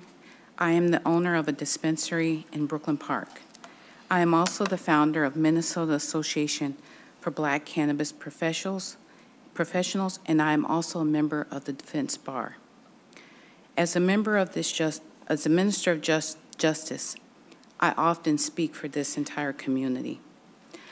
I no longer trust or have confidence in the OCM to create policies that advance the interests of social equity applicants. With this new proposal, it has not only delayed the process, but the OCM has just created a path for multi-state operators, operators to create a footprint in Minnesota. Partnering with a social equity applicant, even if the applicant owns more than 50 percent, does not help the applicant in obtaining funds. What it does is it creates predatory partners. What we have seen in other states is that partnering with these MSOs, the operating agreement rules the day. Within this operating agreement, many of these social equity partners will not even obtain a piece of the revenue until the MSO earns a certain amount of revenue. That bar can be very high. as one of my seasoned colleagues called it, and this colleague has opened cannabis businesses in other states. This practice is called rent a minority. There is no advantage to social equity applicants under the OCM's proposal. There are no landlords in this state who are willing to hold property with no rent and no money until the potential applicant obtains a license because under, under this proposal, there are no transactions that can happen. There are no cultivators that can grow cannabis. As an attorney who often speaks about social equity issues in cannabis, I have always said this Minnesota bill was written for Minnesotans by Minnesotans. I no longer feel that way. This lottery system proposed by the OCM feels like the Minnesota that I've always tried to get away from, the Minnesota nice, smiling in your face while shutting you out of opportunities for your own benefit. While I share Ms. Briner's concerns about those who have had an advantage to obtain consultants and attorneys in preparing their application, I can tell you that social equity applicants feel even more defeated by the OCM's proposal, and their trust has been completely diminished at this point, even though I've tried to rebuild the trust in this commun community with the Minnesota government. I implore you, improve the merit system by researching other states more on their process, such as Vermont, who has had no challenges to their point system in court. Release grant funding to the community so that this state can create a method to educate and help social ap applicants in the, in the process by understanding the process, such as New York has done by giving free community classes. I think that if the OCM works with community stakeholders instead of a consultant, they will reduce the likelihood of litigation by me and my colleagues. Thank you. Thank you, Ms. Revering. Can Mr. Can Maso Maceo Phillips please come forward? Mr. Beavis, please introduce yourself and proceed. Thank you. I am Tommy Beavis. I am representing Create C Coalition, but in my day job, I happen to lead Pimento Jamaican Kitchen, which has four locations across the Twin Cities. Amazing award-winning food. Um, but Pimento is more than a restaurant. After the 2020 uprisings, the community created Pimento Relief Services, which focuses on economic liberation, political liberation, and social liberation. And the cannabis issue falls squarely within that space because through economic liberation, this provides us the tools and the resources to provide our own solutions within our own community. From a social liberation standpoint, it addresses a lot of the social ills and social injustices that have been done, and this is actually a reparative justice um, opportunity for us all. And then from a political liberation standpoint, it challenges us to really stand up and right some of the wrongs that have been done historically. And so um, I'm here to oppose the lottery uh, um, clause, particularly because I see this as a huge financial risk for social equity applicants. Um, it removes that social equity objectives and goals that we were setting out for. And then what it does is provides an invisible hand to pick winners and losers. And what, what I'm afraid of is by picking the wrong winners, then those winners fail, then the narrative is continually perpetuated. See, black businesses can't succeed. And so we have to get it right this time. For example, right now, I've already invested quite a lot in the branding, the marketing, the research, the consultants to try to figure out what it would look like using the existing laws. And by adding the lottery, that then gives me the, uh, the, the, two options. Do I stop where I am and lose all that I've invested? Or do I continue to invest more funds in sunk cost efforts? This is not fair. And of course, we already have limited access to capital. This makes sure that we have no access to capital because no investor would want to invest in anything that is based on a lottery. And in, fin- in closing, I think my recommendations would be for us to continue focus on improving the point-based system, the merit-based system, because I think this is an opportunity for those who are ready to really step up and create the next great Minnesota companies. And then, of course, we also would like to see that we have funds available um, to do the research and to support us as we're trying to go about this. So let's release some deed funds to the social equity applicants as soon as possible. This is our opportunity to get it right now for the purposes of social, economic, and political liberation. So let's get it right. Thank you. Thank you, Mr. Beavis. Mr. Phillips, please introduce yourself and go ahead. Hello. Um, thank you guys for your time. My name is Maceo Phillips, and I'm also with Create C. And I'm gonna keep this short and sweet because a lot of my members already spoke on some of the issues. But um, I'm opposed to the um, the lottery system, and I really support the um, merit system, especially for the ones who's been greatly affected, like a lot of my brothers and sisters. I remember growing up in Brooklyn Park, um, it was just almost like um, we were terrorists and we were vilified just for smoking marijuana, and it caused a lot of ramifications with um, a lot of my people, and that's why I think y'all should take that in consideration because a lot of the BIPOC or black and brown people, especially in like the outside suburbs of Minneapolis and stuff like that, we just felt like we were targeted and vilified and kind of like outlawed. And now that since it's um, legal, that um, I don't think anybody else should be really like taking advantage of it when, you know what I'm saying, they wasn't the ones targeted like most of the people that was in the inner cities and um, it had a great impact. There was a lot of jail time. It was a lot of treatment and stuff everybody had to go through, and it was just a lot of um, shame by just making us feel like the bad guy all the time. And I think, you know, we should get some type of justice in that and be able to you know what I'm saying, be able to take control of our communities and get it back and be able to profit off of it since we was greatly affected. But um, thank you guys for your time and thank you for letting me talk. Thank you, Mr. Phillips. Are there other members of the public who wish to testify? Come forward.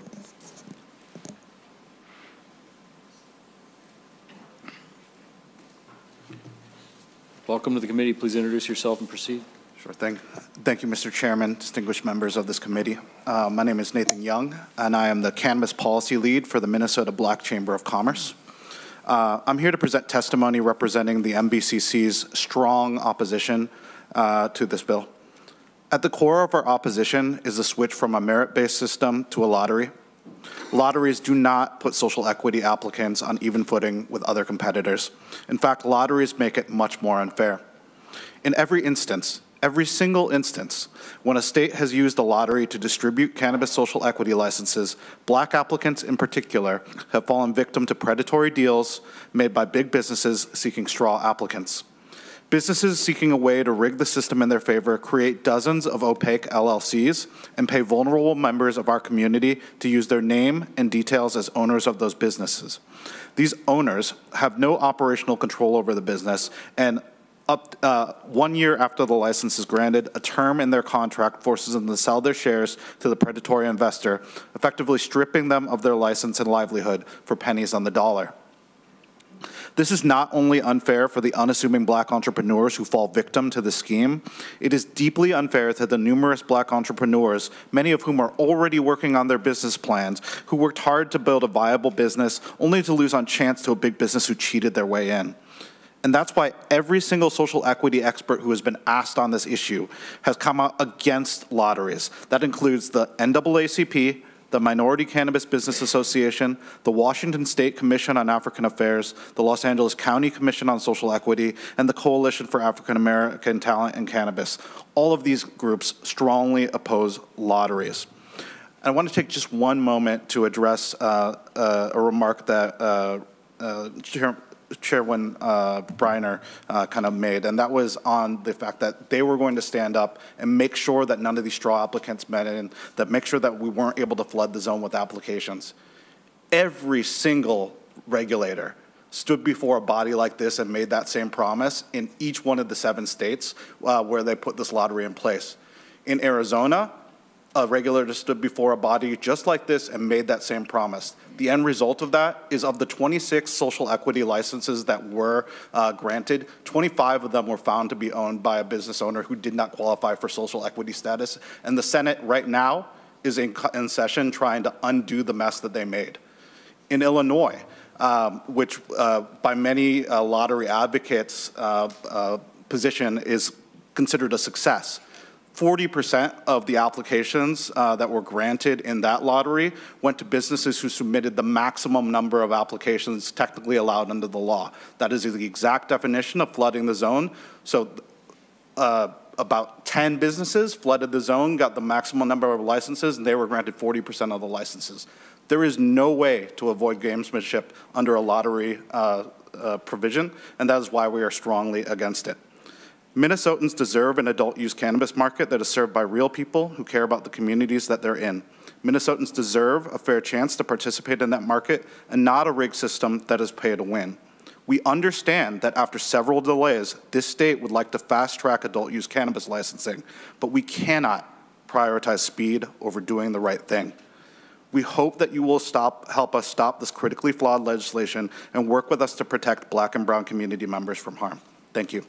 Thank you, sir. We have another member of the public. Please introduce yourself and proceed. Yes, sir. Good morning, Mr. Chair and members. My name is Sean Tatro. I represent King Kind Cultivation. I'm here to voice opposition to the proposed lottery in favor of a merit-based application process. Current data proves neither are insulated from potential litigation. Information does, however, indicate that a merit-based system creates a more robust and sustainable cannabis market. Minnesota has an opportunity to avoid the pitfalls that have plagued other states. Many aspects of this process require prudent consideration, particularly as it pertains to social equity status, application eligibility thresholds, and the sequential distribution of temporary licensing. Temporary licensing may be limited to social equi equity applicants. Therefore, a logical first step would be a process to qualify social equity status. Beyond the implementation of a merit-based system, reasonably high standards for application eligibility should exist for several reasons. It limits the amount of applications to allow for a more thorough review. It protect, protects small Minnesota entrepreneurs and the public and awards licensing to the most qualified applicants with the shortest path to becoming operational. Cultivators provide supply to the supply chain. All other sectors require this supply to operate. Cannabis entrepreneurs are doomed to fail in the absence of a steady, abundant supply chain. Establishing a protocol that grants temporary licensing based on the timeline required to become operational is crucial, and each sector has different lead times required to become operational. This is critical for businesses with a small runway for operations. Coordinating the sequential disbursement of temporary licenses to allow for all or most sectors to become operational simultaneously is imperative because no one can operate correctly unless everyone is operating properly. We are all in this together. Thank you. And the last member of the public, uh, introduce yourself and go ahead. My name is Matt Carpentier. I am uh, I own Carpfish Creative. Where we do business advising, and we work with national advisors in the cannabis industry. And I'm opposed to the lottery system, uh, especially after talking to numerous people across the great state of the United States. Mainly one of the big things with the lottery system that I've heard and the issues that are happening in New York and they're expected to happen in New Jersey is the what they call stacking or flooding. It's where investment groups will target multiple groups of social equity applicants and then they will maximize the number of applications to, uh, to those. And then a lot of the times, like in here, we have a three-year turnover where the license can be um, transferred over. A lot of the times, they will, in their agreements, they will have it so that social equity person after that three years has gets nothing out of it in most cases. Um, that was the main thing. I think the OCM has done a great job so far up to that, um, up to the lottery discussion. I think they've structured it the original bill is structured great, everything looks great. It's just the lottery thing is the only thing. I mean, if you look at the Highway 35 project, that could be a project that maybe only has a 10% chance in a lottery system, and they're doing all the right things. They're raising money. I believe they've already raised something like 20 million, I think I saw in uh, a KARE 11 news article. And it would be really hurtful to people like that who've done all the work and done all the real stuff to run a business to just lose it just because of a lottery. That's it. Thank you, testifiers. Thank you. We can call on Senator Frentz, but Senator Port, maybe you just want to respond to the testifier. Seems like there were some themes uh, that came forward. Yeah, absolutely. Thank you, Mr. Chair and members. Um, and thank you to all the testifiers who came. This is exactly the kind of input that we got consistently throughout the year last year, and it helped to create a really strong bill at the end of the day that uh, we were all proud to see signed into law. And I am hopeful and have the same expectation that that will be the process this year. Um, I, I want to address, first of all, the lottery. It is a complicated uh, process and weighing of litigation versus speeding things up versus what are our core values at this point. And I just want to reiterate that my core value at this point, and I think the core value of all of the folks who've worked um, on this bill and who are working at OCM to do this, is to make sure that we stand up an industry that is specific to Minnesota. That means that it prioritizes and protects social equity applicants, that it uh, prioritizes those smaller micro and meso businesses, really the cannabis craft industry, um, that Minnesota can be a leader in, in the country on setting up.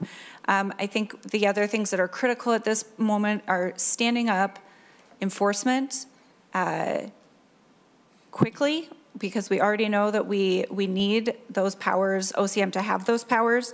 We need to get testing up and running. We need to get cultivation up and running. Um, and we can do all of that while ensuring that the system that we set up, whether it is this lottery-based system or whether it is a modification of the points-based system that we wrote into law in the first place, it can be done with cooperation and collaboration between OCM and community, and I believe that is very, very likely to happen.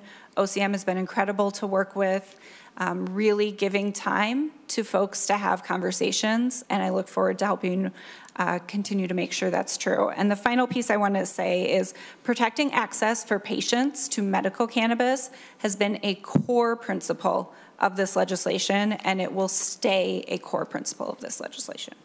Senator Frentz. Well, thank you, Mr. Chair. Uh, Thank you, Senator Port. I think you answered every single question I was going to ask. I think we're hearing uh, questions about merit versus lottery. I appreciate your hard work, Senator Port. I think the intent of the legislation was to legalize adult use cannabis. You got that. Our intent was to provide preference for the social equity applicants. I see that you have that in spirit, and I think these testifiers are asking if we can get a little better uh, fix on it in letter. And I will just add, Mr. Chair and members, this last week, like many of you, had a number of Minnesotans in my office saying that they were concerned about straw buyers and were concerned about flooding the zone. And I, we do have that in other areas um, like this. And so I don't know that the problem can be completely solved, but I think after today's hearing, we should make it a priority. Senator Port, uh, you have our support for what you see as the best path forward. And again, I think uh, Ms. Briner and her team have worked very hard. That's no, another Minnesota value is hard work. Thanks, Mr. Chair. Other member questions or comments? Senator Rasmussen. Thank you, Mr. Chair, and I appreciate that we will be getting this bill back um, as a committee to discuss further. I did have just uh, two brief amendments I wanted to offer today. Um, so with that, Mr. Chair, I'd move the A7. Senator Rasmussen offers the A7 amendment. Is it in our packets or being distributed, members? Uh, while being distributed, Senator Rasmussen, to your amendment. Thank you, Mr. Chair. Um, one of the stated goals of the cannabis bill last year was to curtail the illicit market. And I think, unfortunately, you know, we have seen from the work of OCM and others that there are um, many instances of the law being broken currently with illicit sales of cannabis.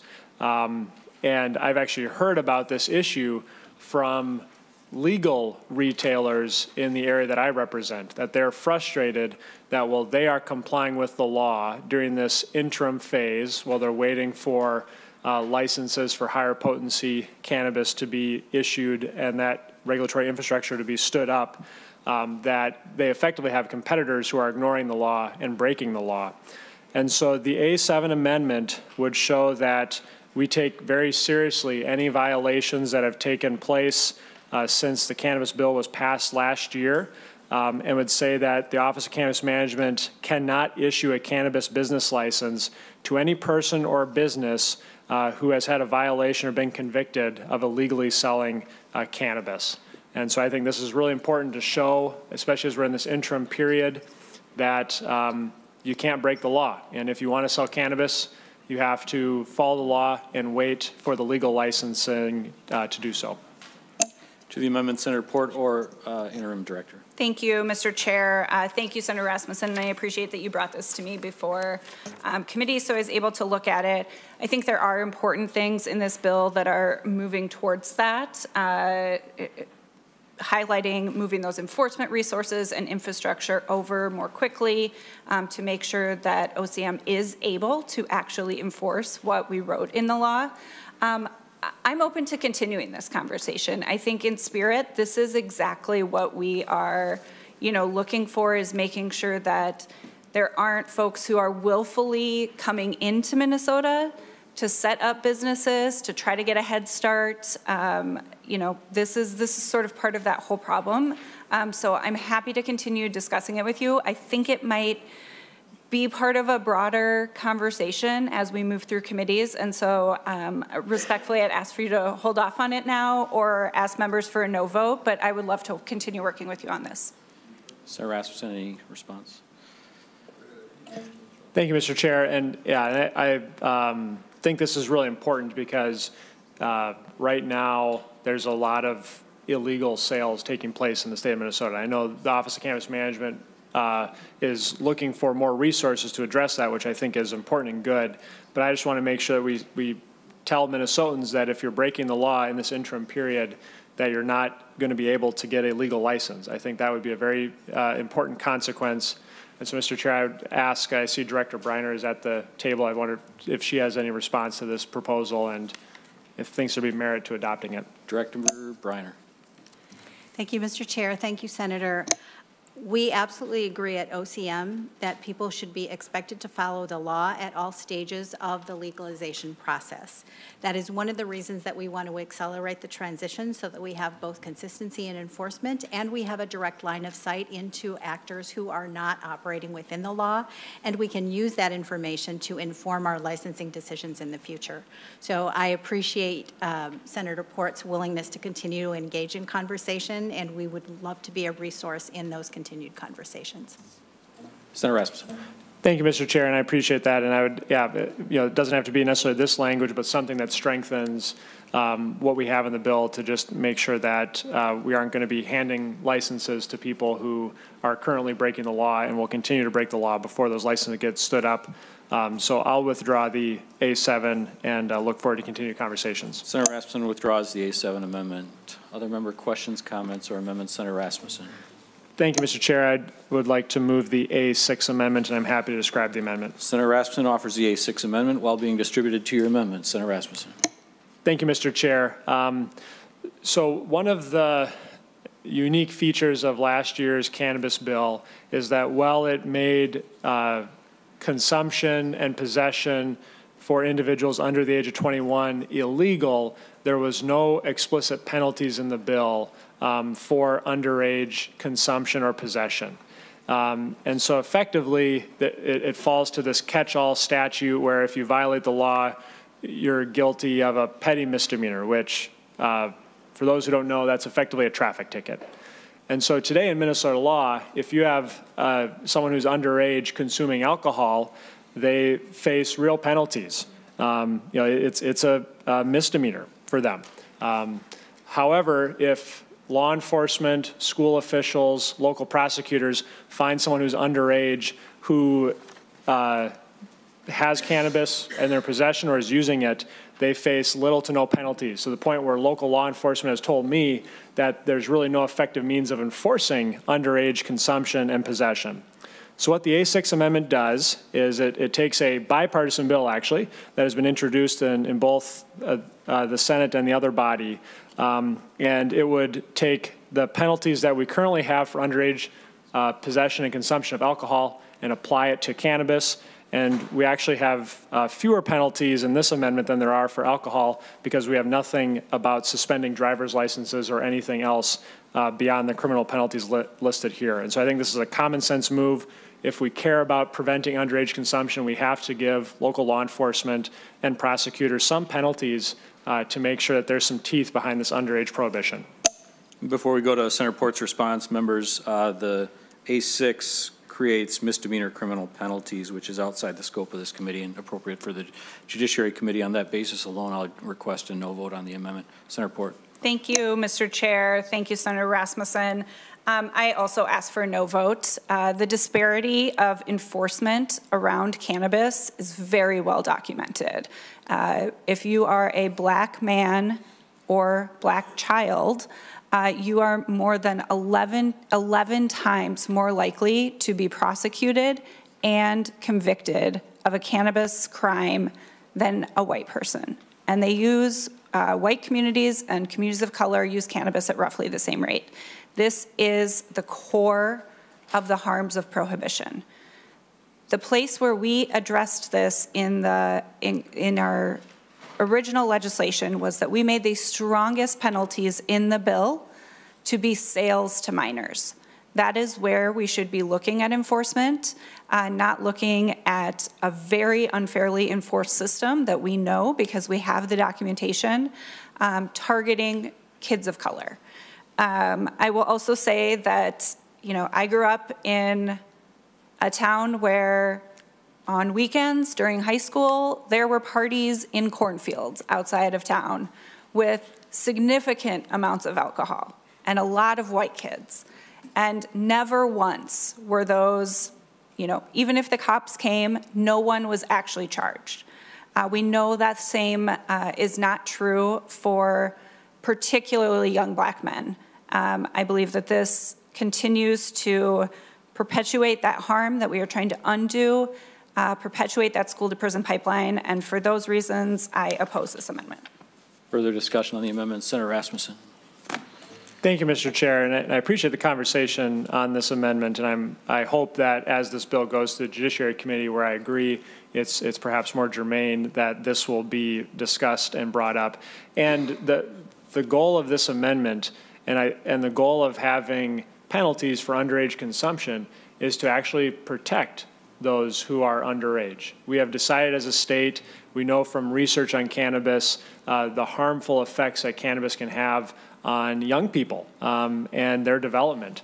And I think it's really important that we give local law enforcement, prosecutors, judges tools that they need uh, to address underage consumption. And from talking with law enforcement today, they don't feel like they have those tools that they have for underage consumption of alcohol. Um, so, Mr. Chair, this I think is an important conversation, and I hope that we continue it. But I'll withdraw the A6 at this time. Senator Rasmussen withdraws the A6 amendment. Any further member questions, comments, or amendments to the bill? Closing comments, Senator Port. Uh, you know, thank you very much to the committee, uh, and thank you to all the testifiers. I look forward to robust conversation over the coming weeks. Uh, look forward to partnership with all of you as we have this conversation, and I will be back with you in four weeks or so. Thank you, Senator Port. Can uh, the online senators please turn on your microphones for the voice vote? Uh, the question is on the motion of Senator Wiklund that Senate File 4782 as amended be recommended to pass and be referred to the Committee on Agriculture, Broadband and Rural Development. All in favor say aye. Aye. Opposed? Motion is passed. Senator Port, thank you. Thank you, Mr. Chair.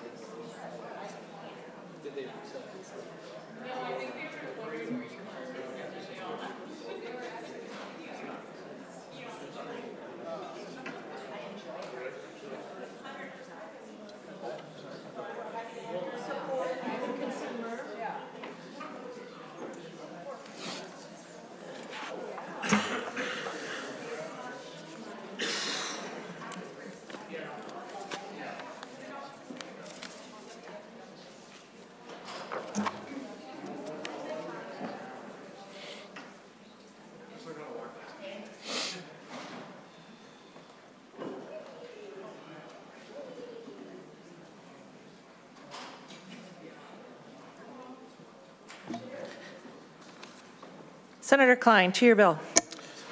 Thank you, Chair and members, for uh, hearing Senate File 4097. I have a A1 delete all uh, author's amendment for your consideration.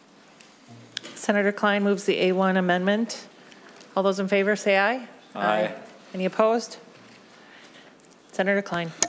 Thank you, Chair. Uh, Senate File 4097 as amended is the Commerce Omnibus Policy uh, Bill for this year. I will have counsel walk through the uh, bill as amended. Uh, There are no bills contained in here which we did not hear uh, in committee. Uh, And uh, I appreciate members' work this session to get this put together.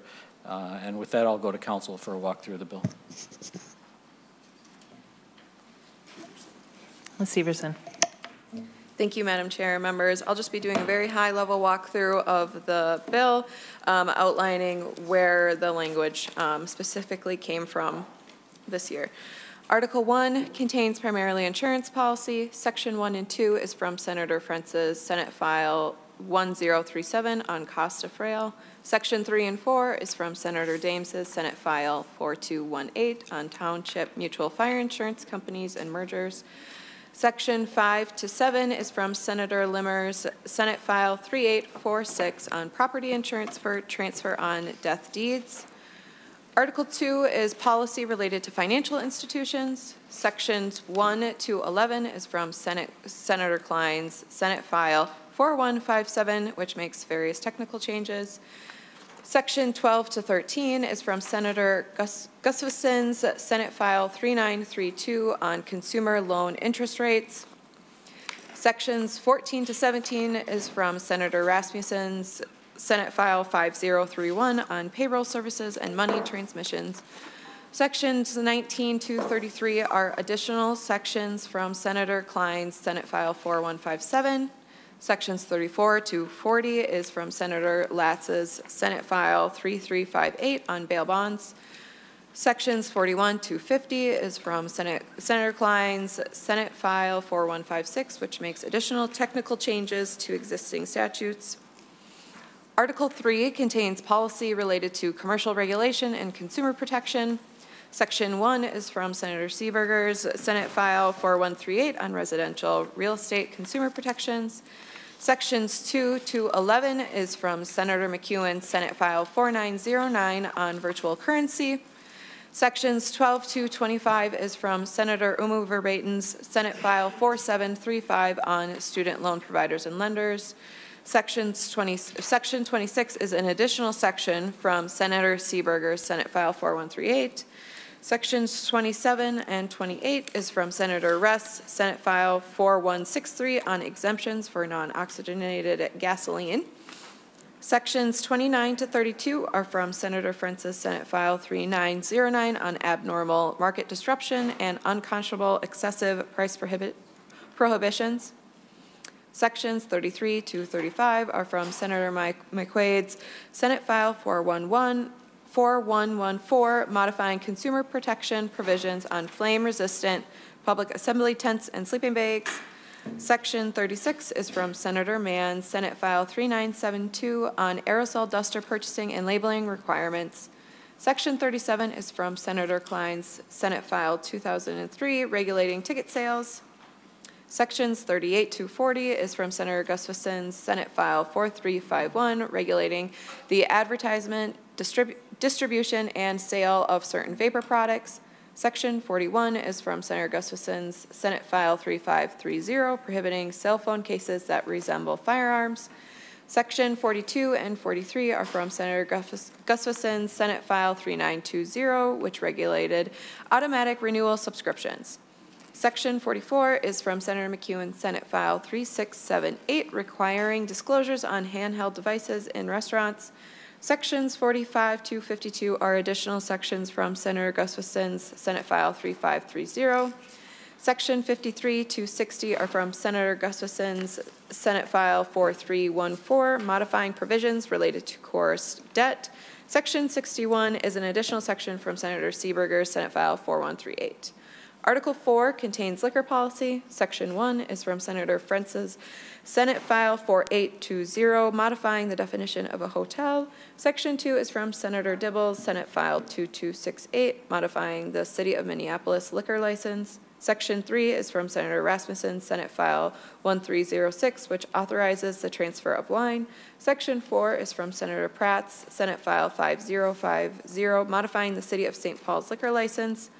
Section 5 is from Senator Carlson, Senate File 3341, authorizing an on-sale liquor license for the City of Eagan. Section 6 is from Senator Lang's Senate File 4557, authorizing an on-sale license for town ball games in the City of Litchfield. Article 5 contains several updated effective dates from last year's policy bill. Thank you, Ms. Severson. Senator Klein. Uh, Madam Chair, I know members have amendments. I have three amendments to make sure the bill is corrected, but if you'd like, we can go to testifiers and then do those amendments.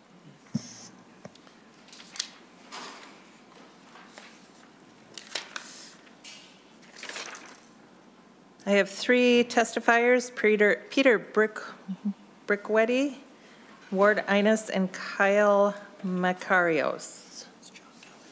I'm sorry. All right, John Kelly. Hey.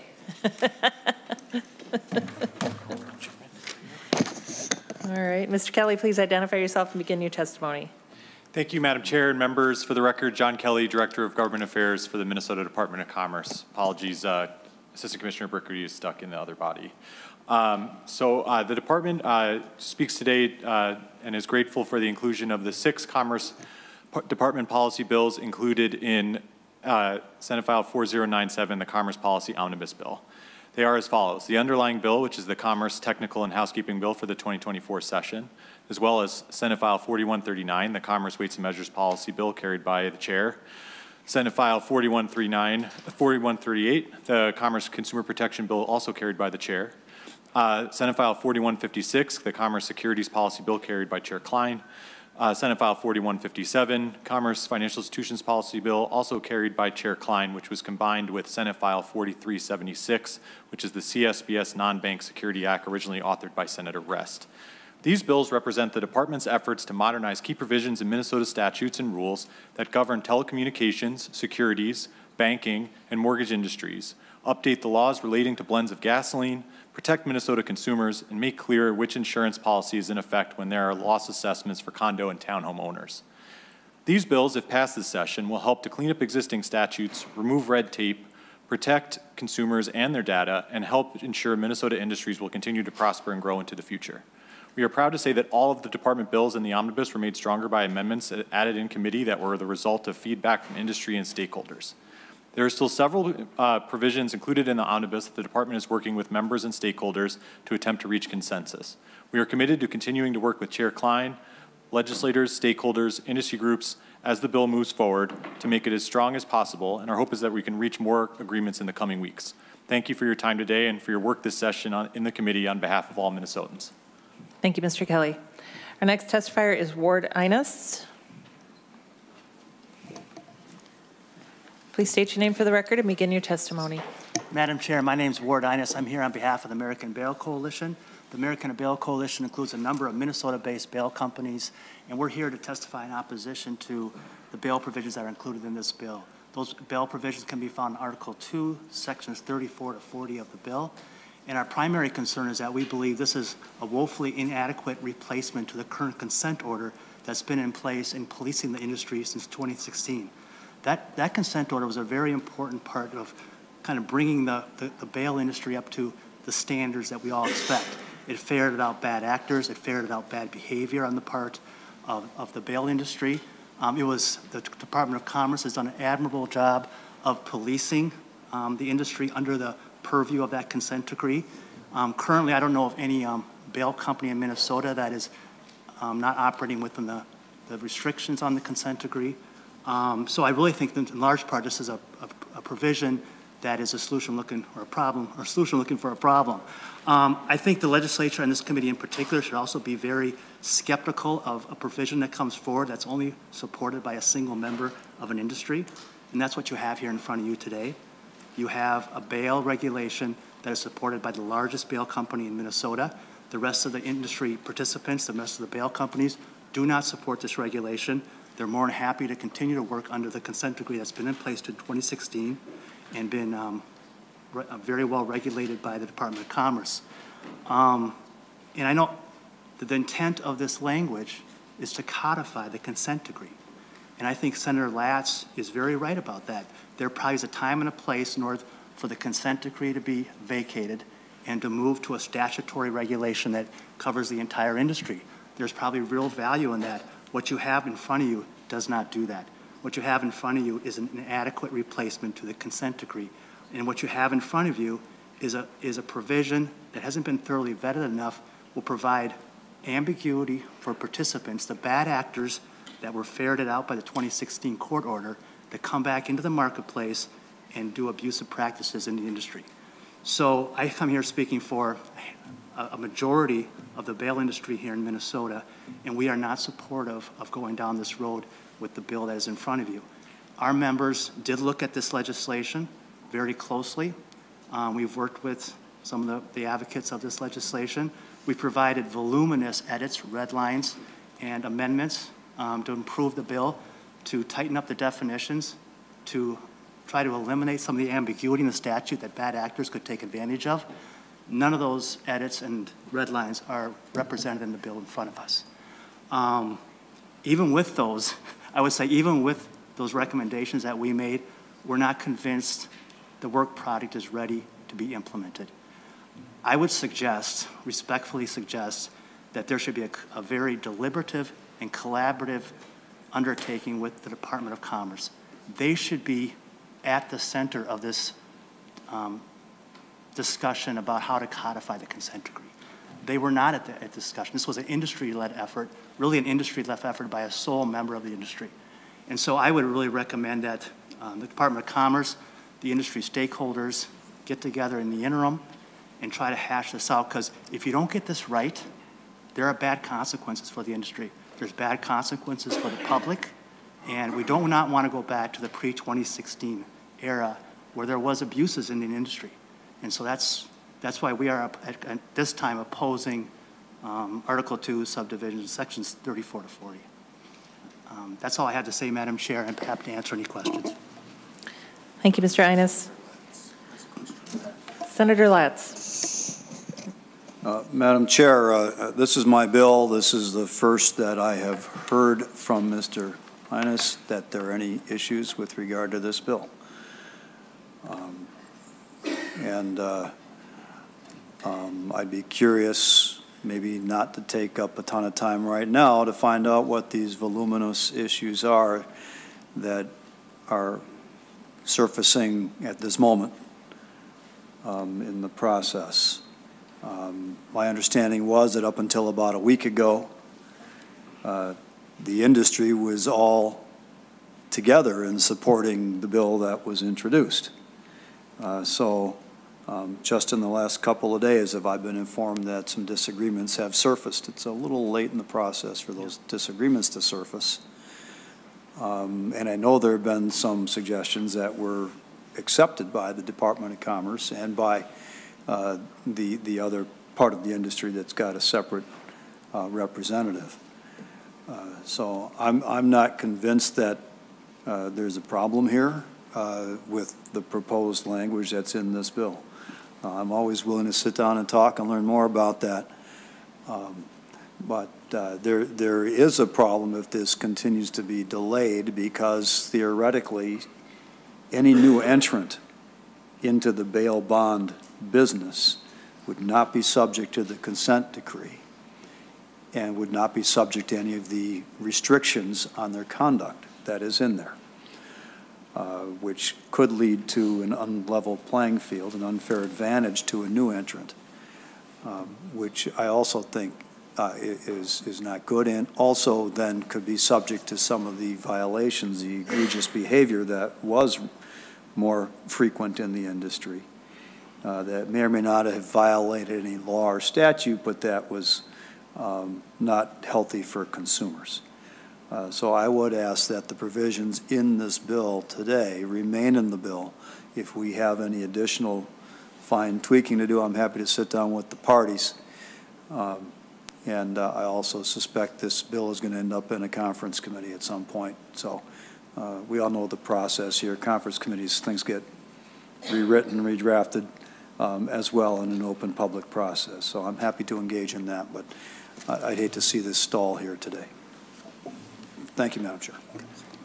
Mr. Ines. Yeah, Madam Chair, just real quickly, thank you, Senator Latz. Um, And you're right, you're absolutely right. We were making a good faith effort to work with the parties to try to come to um, an agreement on this, on this legislation.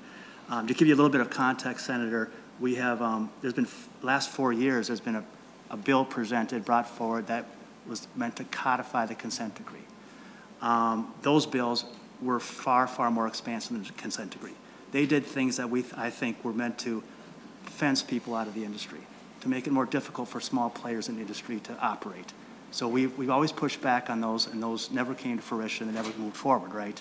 This year, there was a concerted effort by Mr. Bagnoli and others to winnow down it so it truly was a bill that would represent a codification of the consent decree. And so we, we committed to working with them to say, okay, this looks like a, a serious endeavor. We want to work with you on it. We did provide, we spent hours and hours going over the legislation, Senator, and we did provide them a number of edits that are not currently represented in this draft. Um, so we are committed, but I also would say that we need a referee at the table. Um, that referee is probably the Department of Commerce, um, because there are interpretation differences even within our own membership of what the consent decree covers, what kind of solicitation, what kind of collateral. It's a very complex industry a lot of moving parts. So um, that referee has not been us. We have been unable to referee ourselves, let's put it that way. Um, so I take you up on your offer, Senator Latz. We'd like to continue to work on this and try to reach something that protects the public and our, also gets to a point where we have a statutory regulatory framework that covers the entire industry. That's our goal. All right, thank you, Mr. Ines. Our final testifier is Kyle Mac- uh, Makarios. Please introduce yourself for the record and begin your testimony. Thank you, Madam Chair, committee members. Uh, My name is Kyle Makarios, and I'm here uh, representing Teamsters Joint Council 32. As you all know, uh, our members deliver the beer, wine, and spirits to liquor stores and bars uh, throughout this great state. I'm here to testify and express our strong opposition to the wine transfer section of this bill in Article 4, Section 3. I'd first like to express my appreciation to Chair Klein and to Senator Rasmussen uh, for reaching out to us and to other stakeholders and attempting to put guardrails on this legislation to alleviate our concerns. Uh, those efforts were made in good faith, and they are appreciated. But this provision is a significant step in the wrong direction for liquor policy and will do a big favor to the largest corporate retailer in the country, Total Wine. Uh, what's worse is that this favor will come at the expense of all of the rest of us in the liquor industry. It is opposed by the Minnesota Licensed Beverage Association, uh, by the uh, Minnesota Municipal Beverage Association, by the wholesalers, and by the Teamsters. This provision will allow one huge chain to be even more aggressive with their bulk purchasing power and to take advantage of deals that winemakers offer. These are the buy 10 cases, get one free type of offer. And then move uh, those products among their stores. They'll be, able, they'll be allowed to move up to 36,000 bottles of wine per year uh, among their 10 Minnesota stores. It's a huge advantage that they hold over your, your local, local liquor stores today, but this provision, provision will make it even worse. When Total Wine is offering the same bottle of wine for $4 cheaper than your local liquor store can offer it, uh, this provision will be one of the reasons. Uh, Madam Chair, uh, this provision is a step toward corporate consolidation in our liquor industry. It's a giveaway to the largest corporate retail entity in the state, and it will hurt the local liquor stores in your districts. It's a step toward the erosion of the three-tier system that protects our thousands of small businesses in this industry and the great middle-class jobs that our members have, move, uh, warehousing and moving the product to them. This provision is a bad idea, and the Teamsters strongly encourage you to remove it from this bill. Thank you. Thank you, Mr. Makarios. Mr. Cl- uh, Senator Klein. Sure. Uh, uh, Thank you to the testifiers. Thank you, Chair. Uh, I have a series of amendments which I think will just sort of correct the bill and will be non-controversial, and I'd like to start by offering uh, the A3 amendment.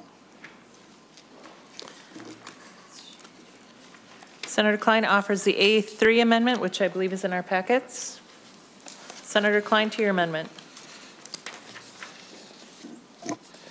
Yeah, Madam Chair, when uh, the provision for uh, Litchfield liquor was presented by Senator Lang, he wanted to add in the city of Watkins, which would match up with language in the other body, and this amendment simply accomplishes that purpose.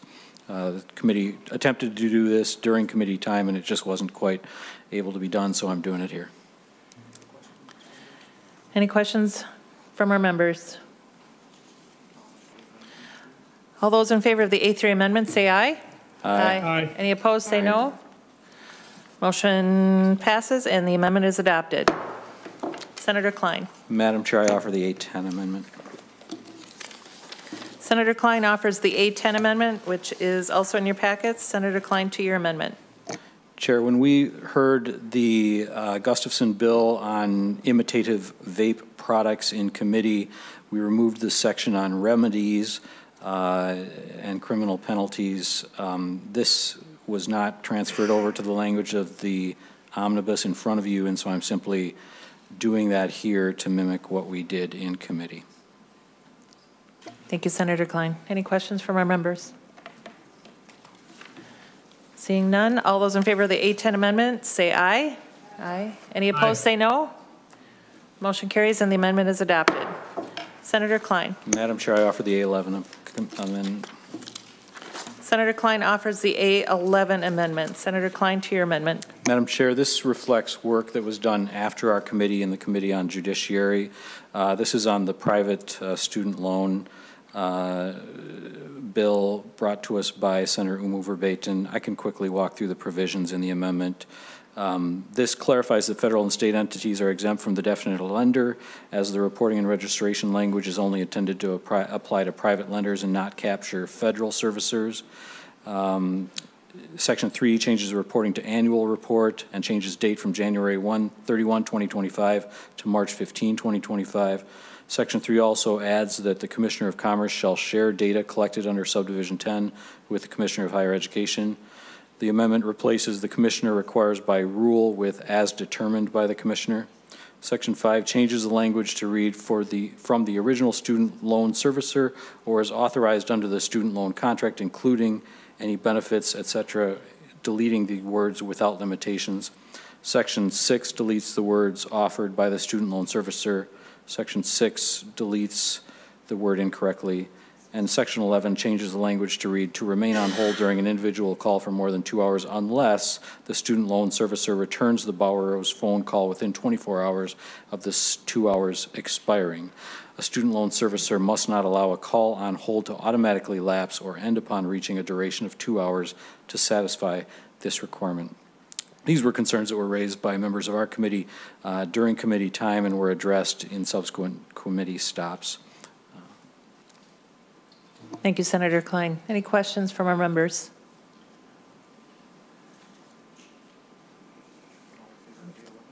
Madam Chair. Senator Howe. Thank you, uh, Madam Chair. Uh, Question for Senator Klein. Uh, How many of our, our state agencies meet this requirement? Senator For the phone calls, meeting that, uh, the callback timeframe? Senator Klein. Uh, Senator, Madam Chair, Senator Howe, that's a great question. I'd be interested in that answer myself. I do not know the answer. Senator Howe. Thank you, Madam Chair. And Senator Klein, that's, that's my concern. We're, we're throwing requirements out there on businesses that I don't believe that our state agencies comply with today. In fact, I know they don't because I've tried to get an answer from certain departments. So that's my only concern is, you know, if we're laying that out there for the, our, our businesses to comply with, we should require that of our own agencies and set the example. And that, that's my only concern.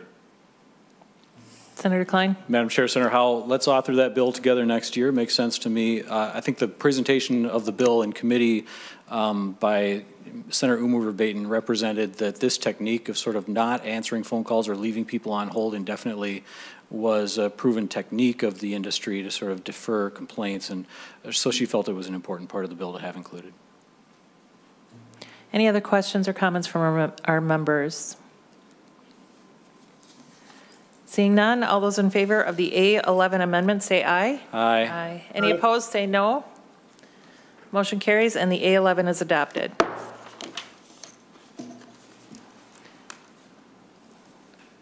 we have Senator Klein. Yeah, my last one, Madam Chair, uh, uh, the A12. I offer the A12. Senator Klein offers the A12 amendment. Senator Klein, two-year amendment. Members will remember that when we heard the uh, Senator Mann bill in committee about uh, limitations on sales of aerosol dusters, there were concerns raised by Senator Latz and others uh, about the volume that could be obtained in retail settings. Uh, And that work was, again, subsequently done in other committees, the Judiciary Committee, uh, to clarify those concerns. Um, This is the aerosol duster amendment. It clarifies that a retailer is prohibited from selling aerosol dusters containing DFE through same-day pickup services or same-day delivery services. It provides that local ordinances may establish that office wholesalers can sell more than three cans of aerosol dusters containing DFE to a business they have a contract with. It changes the bill's effective date to May 31, 2025. It requires manufacturers of aerosol dusters to clearly warn against the dangers of intentionally misusing duster aerosol products, and it has additional warning labeling requirements for aerosol dusters.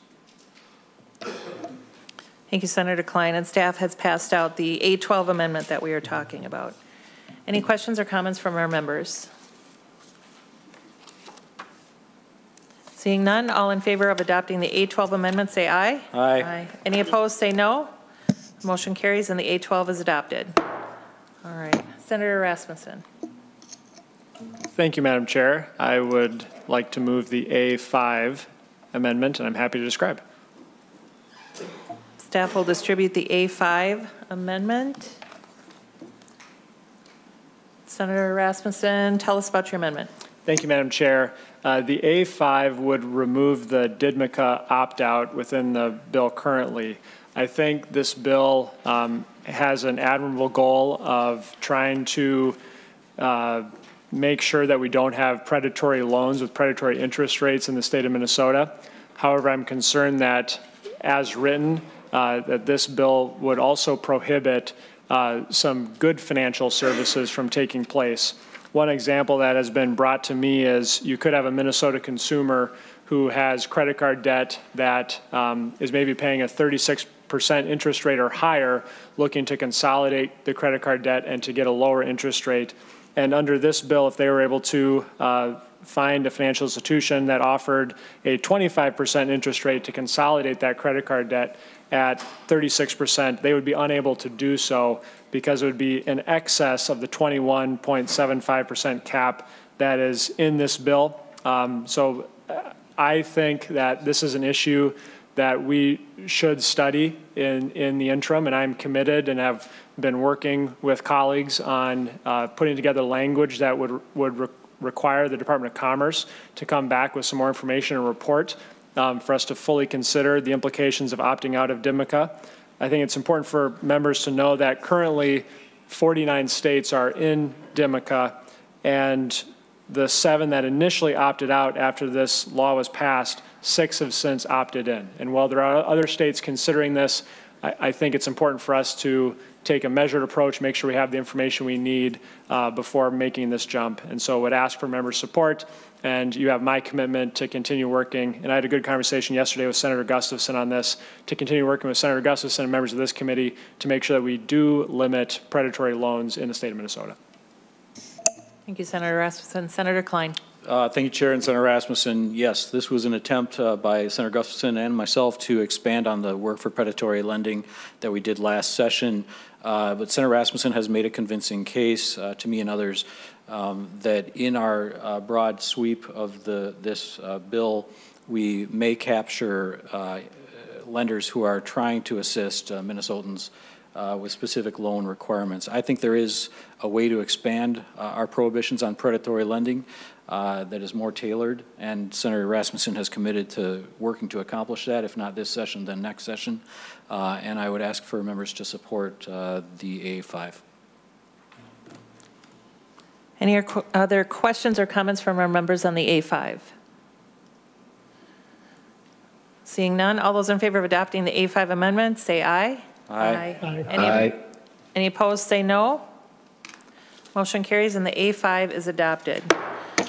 Senator Wiklund.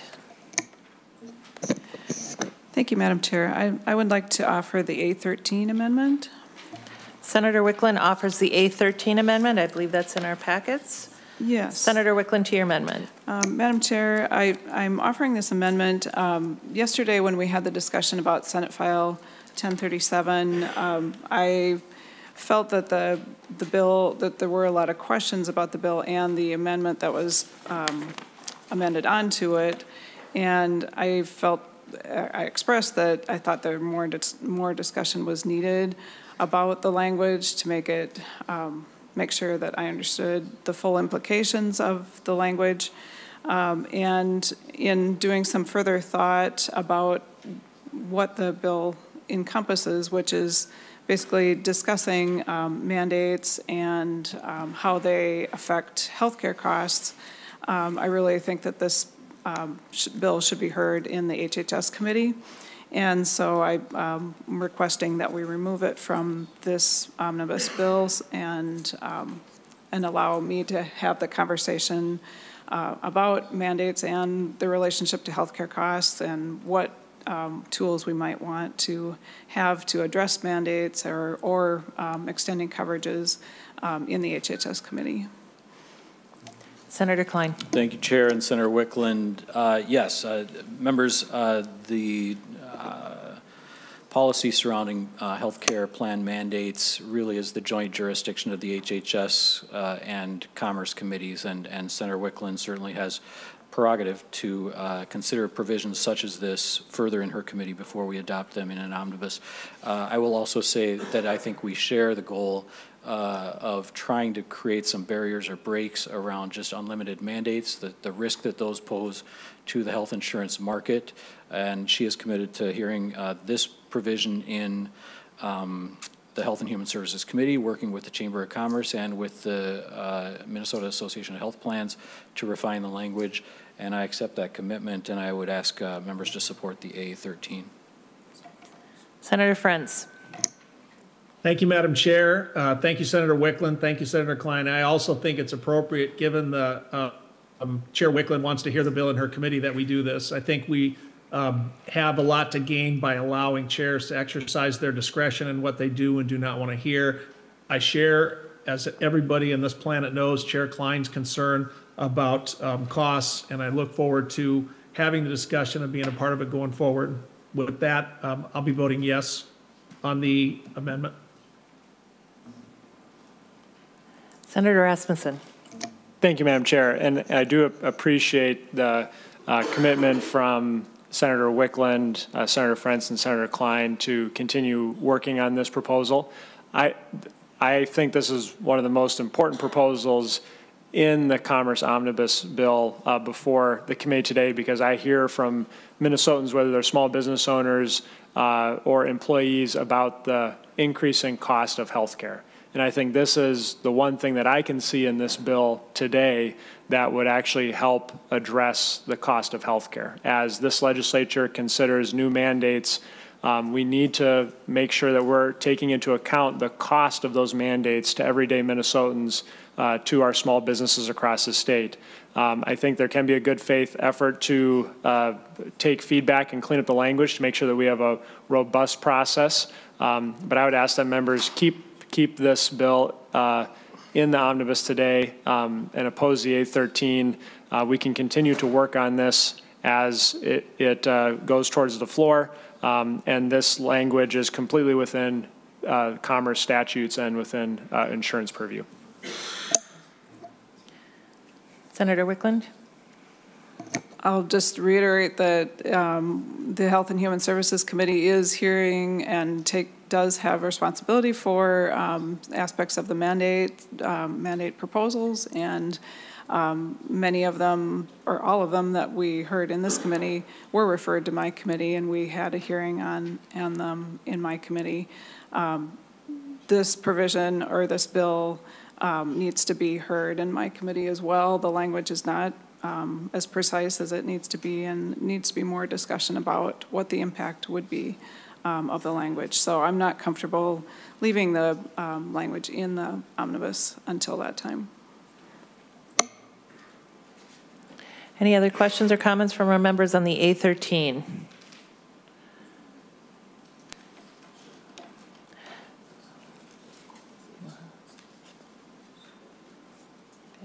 All right, seeing none, all those in favor of the A13 amendment, say aye. Aye. Aye. Any opposed, say no. No. Motion prevails, and the A13 is adopted. Senator Dahms. Thank you, Madam Chair. I have the A2 amendment. Senator Dahms offers the A2 amendment, which is in our packet. Senator Dahms, to your amendment. The A2 amendment is an amendment that's uh, the results of uh, the work that was done with the township mutuals and the uh, Department of Commerce to come up to some correct or some solutions on some of the questions that were had when we presented the bill for uh, for this uh, back yeah, about two weeks ago. So what the A2 amendment does, first of all, it replies to section three and four, pages two through four of the uh, omnibus bill. And what this does is we originally requested 40 counties and we ended up uh, agreeing at 30 counties that the mutuals could operate in. We also wanted to change the language as far as the terminations. When township mergers happen, if they get out of the, a number of counties that they can serve in, they have to, they have to uh, uh, stop the, uh, they have to uh, stop the pay, stop the policies that are without that, that jurisdiction. Currently, that has to be done. Those policies have to be canceled effective the date of the emergency or the merger. What this policy does is this uh, says that they can go till the renewal and then they would need to be canceled at that point. Also, there was some language added uh, if the for a merger in a county that exceeds a merger in a company that exceeds the 20 counties, they need to do some following reporting on a quarterly basis with an income statement, balance sheet, insurance in force, and a number of policies. This was agreed to by both the Farmers Mutual organizations and the Department of Commerce. So this is the results, this uh, amendment is the results of what was done after we heard it in committee. So I would ask for a yes vote in support on this. Senator Klein. Uh, Madam Chair, Senator Dahms, I, I was anticipating a different amendment that was described differently to me. This is, as I understand it, just an alteration on that 40 county bill that we passed of yours that uh, was brought to us by uh, Farmers Insurance. Is that correct? That is correct. Um, and uh, you're representing to me, Senator Dahms and Chair, I won't bring them forward, but that the Department of Commerce is okay with these provisions? That is correct. Senator Klein. Members, I'll accept this as a friendly amendment. Okay, Senator Klein accepts the A2 as a friendly amendment. All those in favor of the A2 say aye. Aye. Any opposed say no. Aye. Motion carries and the amendment is adopted. Any other amendments? Senator Rasmussen. Thank you, Madam Chair. I would move the A7 amendment. Senator Rasmussen moves the A7 amendment, which will be distributed by staff. Senator Rasmussen, tell us about your amendment. Thank you, Madam Chair. This would uh, impact a bill that Senator Frentz uh, presented to this committee about uh, hotels and especially smaller boutique hotels being able to have a liquor license. And there was a conversation both from testifiers and uh, the regulatory agency were supportive of moving that limit from what is in, currently in the bill, which is at 20 hotel rooms, down to 15 hotel rooms. It seems like there's uh, support uh, from Hospitality Minnesota um, and from the regulator to make this move and would hopefully avoid a boutique hotel with 16 or 17 rooms having to come to the legislature and ask us to move down that number again. Senator Klein. Uh, thank you, Senator Rasmussen, and as always, for bringing your amendments to me ahead of time, and uh, I support the amendment. Right. Any further discussion from our members? All those in favor of the A7 amendment say aye. Aye. Any Aye. opposed say no. The motion passes, and the A7 is adopted. Any other am- uh, amendments? Senator Dahms. Thank you, Madam Chair, and I have the A4 amendment. Senator Dahms offers the A4 amendment, which will be distributed by staff. Senator Dahms, can you describe your amendment? Yes, I will. Thank you, Madam Chair. Uh, Currently, insurance agents who wish to secure insurance in the surplus line markets because it's not available in Minnesota insurance companies, uh, they must show that the insurance is unavailable and demonstrate proof of the coverage has been denied. This hurdle serves as a disincentive to help policyholders find surplus line coverages, and sometimes it's pretty hard to find that coverage. And so what this amendment does is simply removes the requirement to allow agents to go directly to the surplus lines market when coverage is unattainable from a Minnesota admitted carrier. This amendment is supported by the Surplus Lines Association of Minnesota, the Insurance Federation of Minnesota, Minnesota Independent Agents, Minnesota Association of Farm Mules, Mutuals, and the amendment has the blessings of the Minnesota Department of Commerce.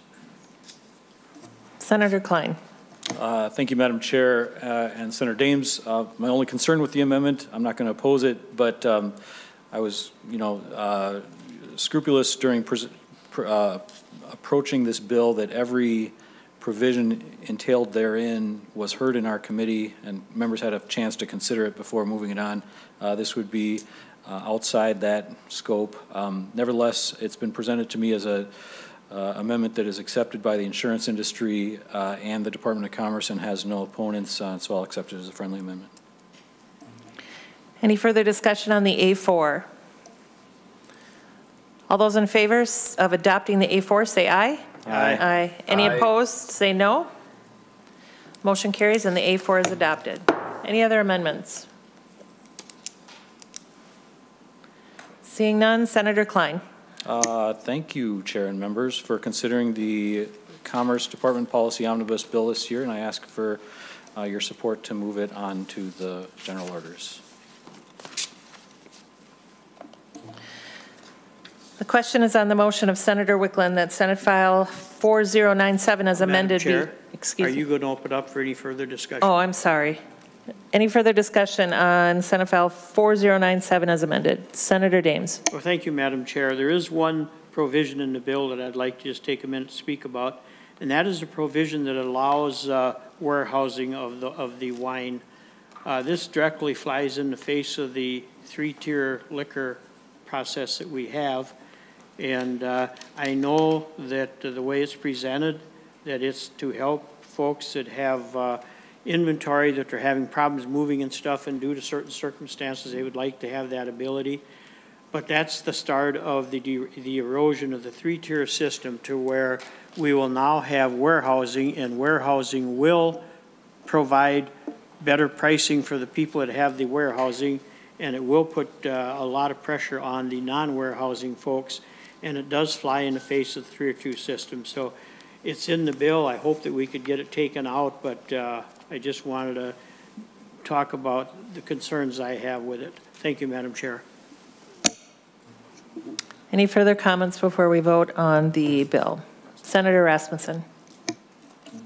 Thank you, Madam Chair, and I just want to, um, you know, thank members of this committee and Senator Klein, I think, for good, robust discussion on the different provisions that are included in, in this bill. Uh, While it's, it's different than the bill that I would put together, um, I think there's a lot of good bipartisan work that's included.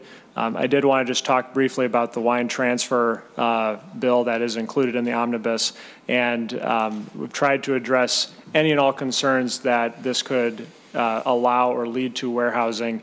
Um, The maximum that any uh, liquor uh, location would be able to transfer would be at most four times a year with a limit of only 75 cases. And so I, I haven't seen any evidence that that would allow um, warehousing at any level. Um, And it has support from smaller liquor stores like the city of Fergus Falls, which just has two locations, to be able to move uh, stranded inventory. Um, I support the three-tier system. Um, All of the wine still has to be uh, sold and delivered by uh, wholesalers and Minnesota Teamsters. Um, But I think this is a common sense reform that will allow uh, some stranded inventory to be moved around and to get to the consumers um, uh, the, the right product at the right place at the right time. So thank you, Madam Chair, and thank you, Senator Klein, for um, all the discussions on the bill before us. Senator Frentz.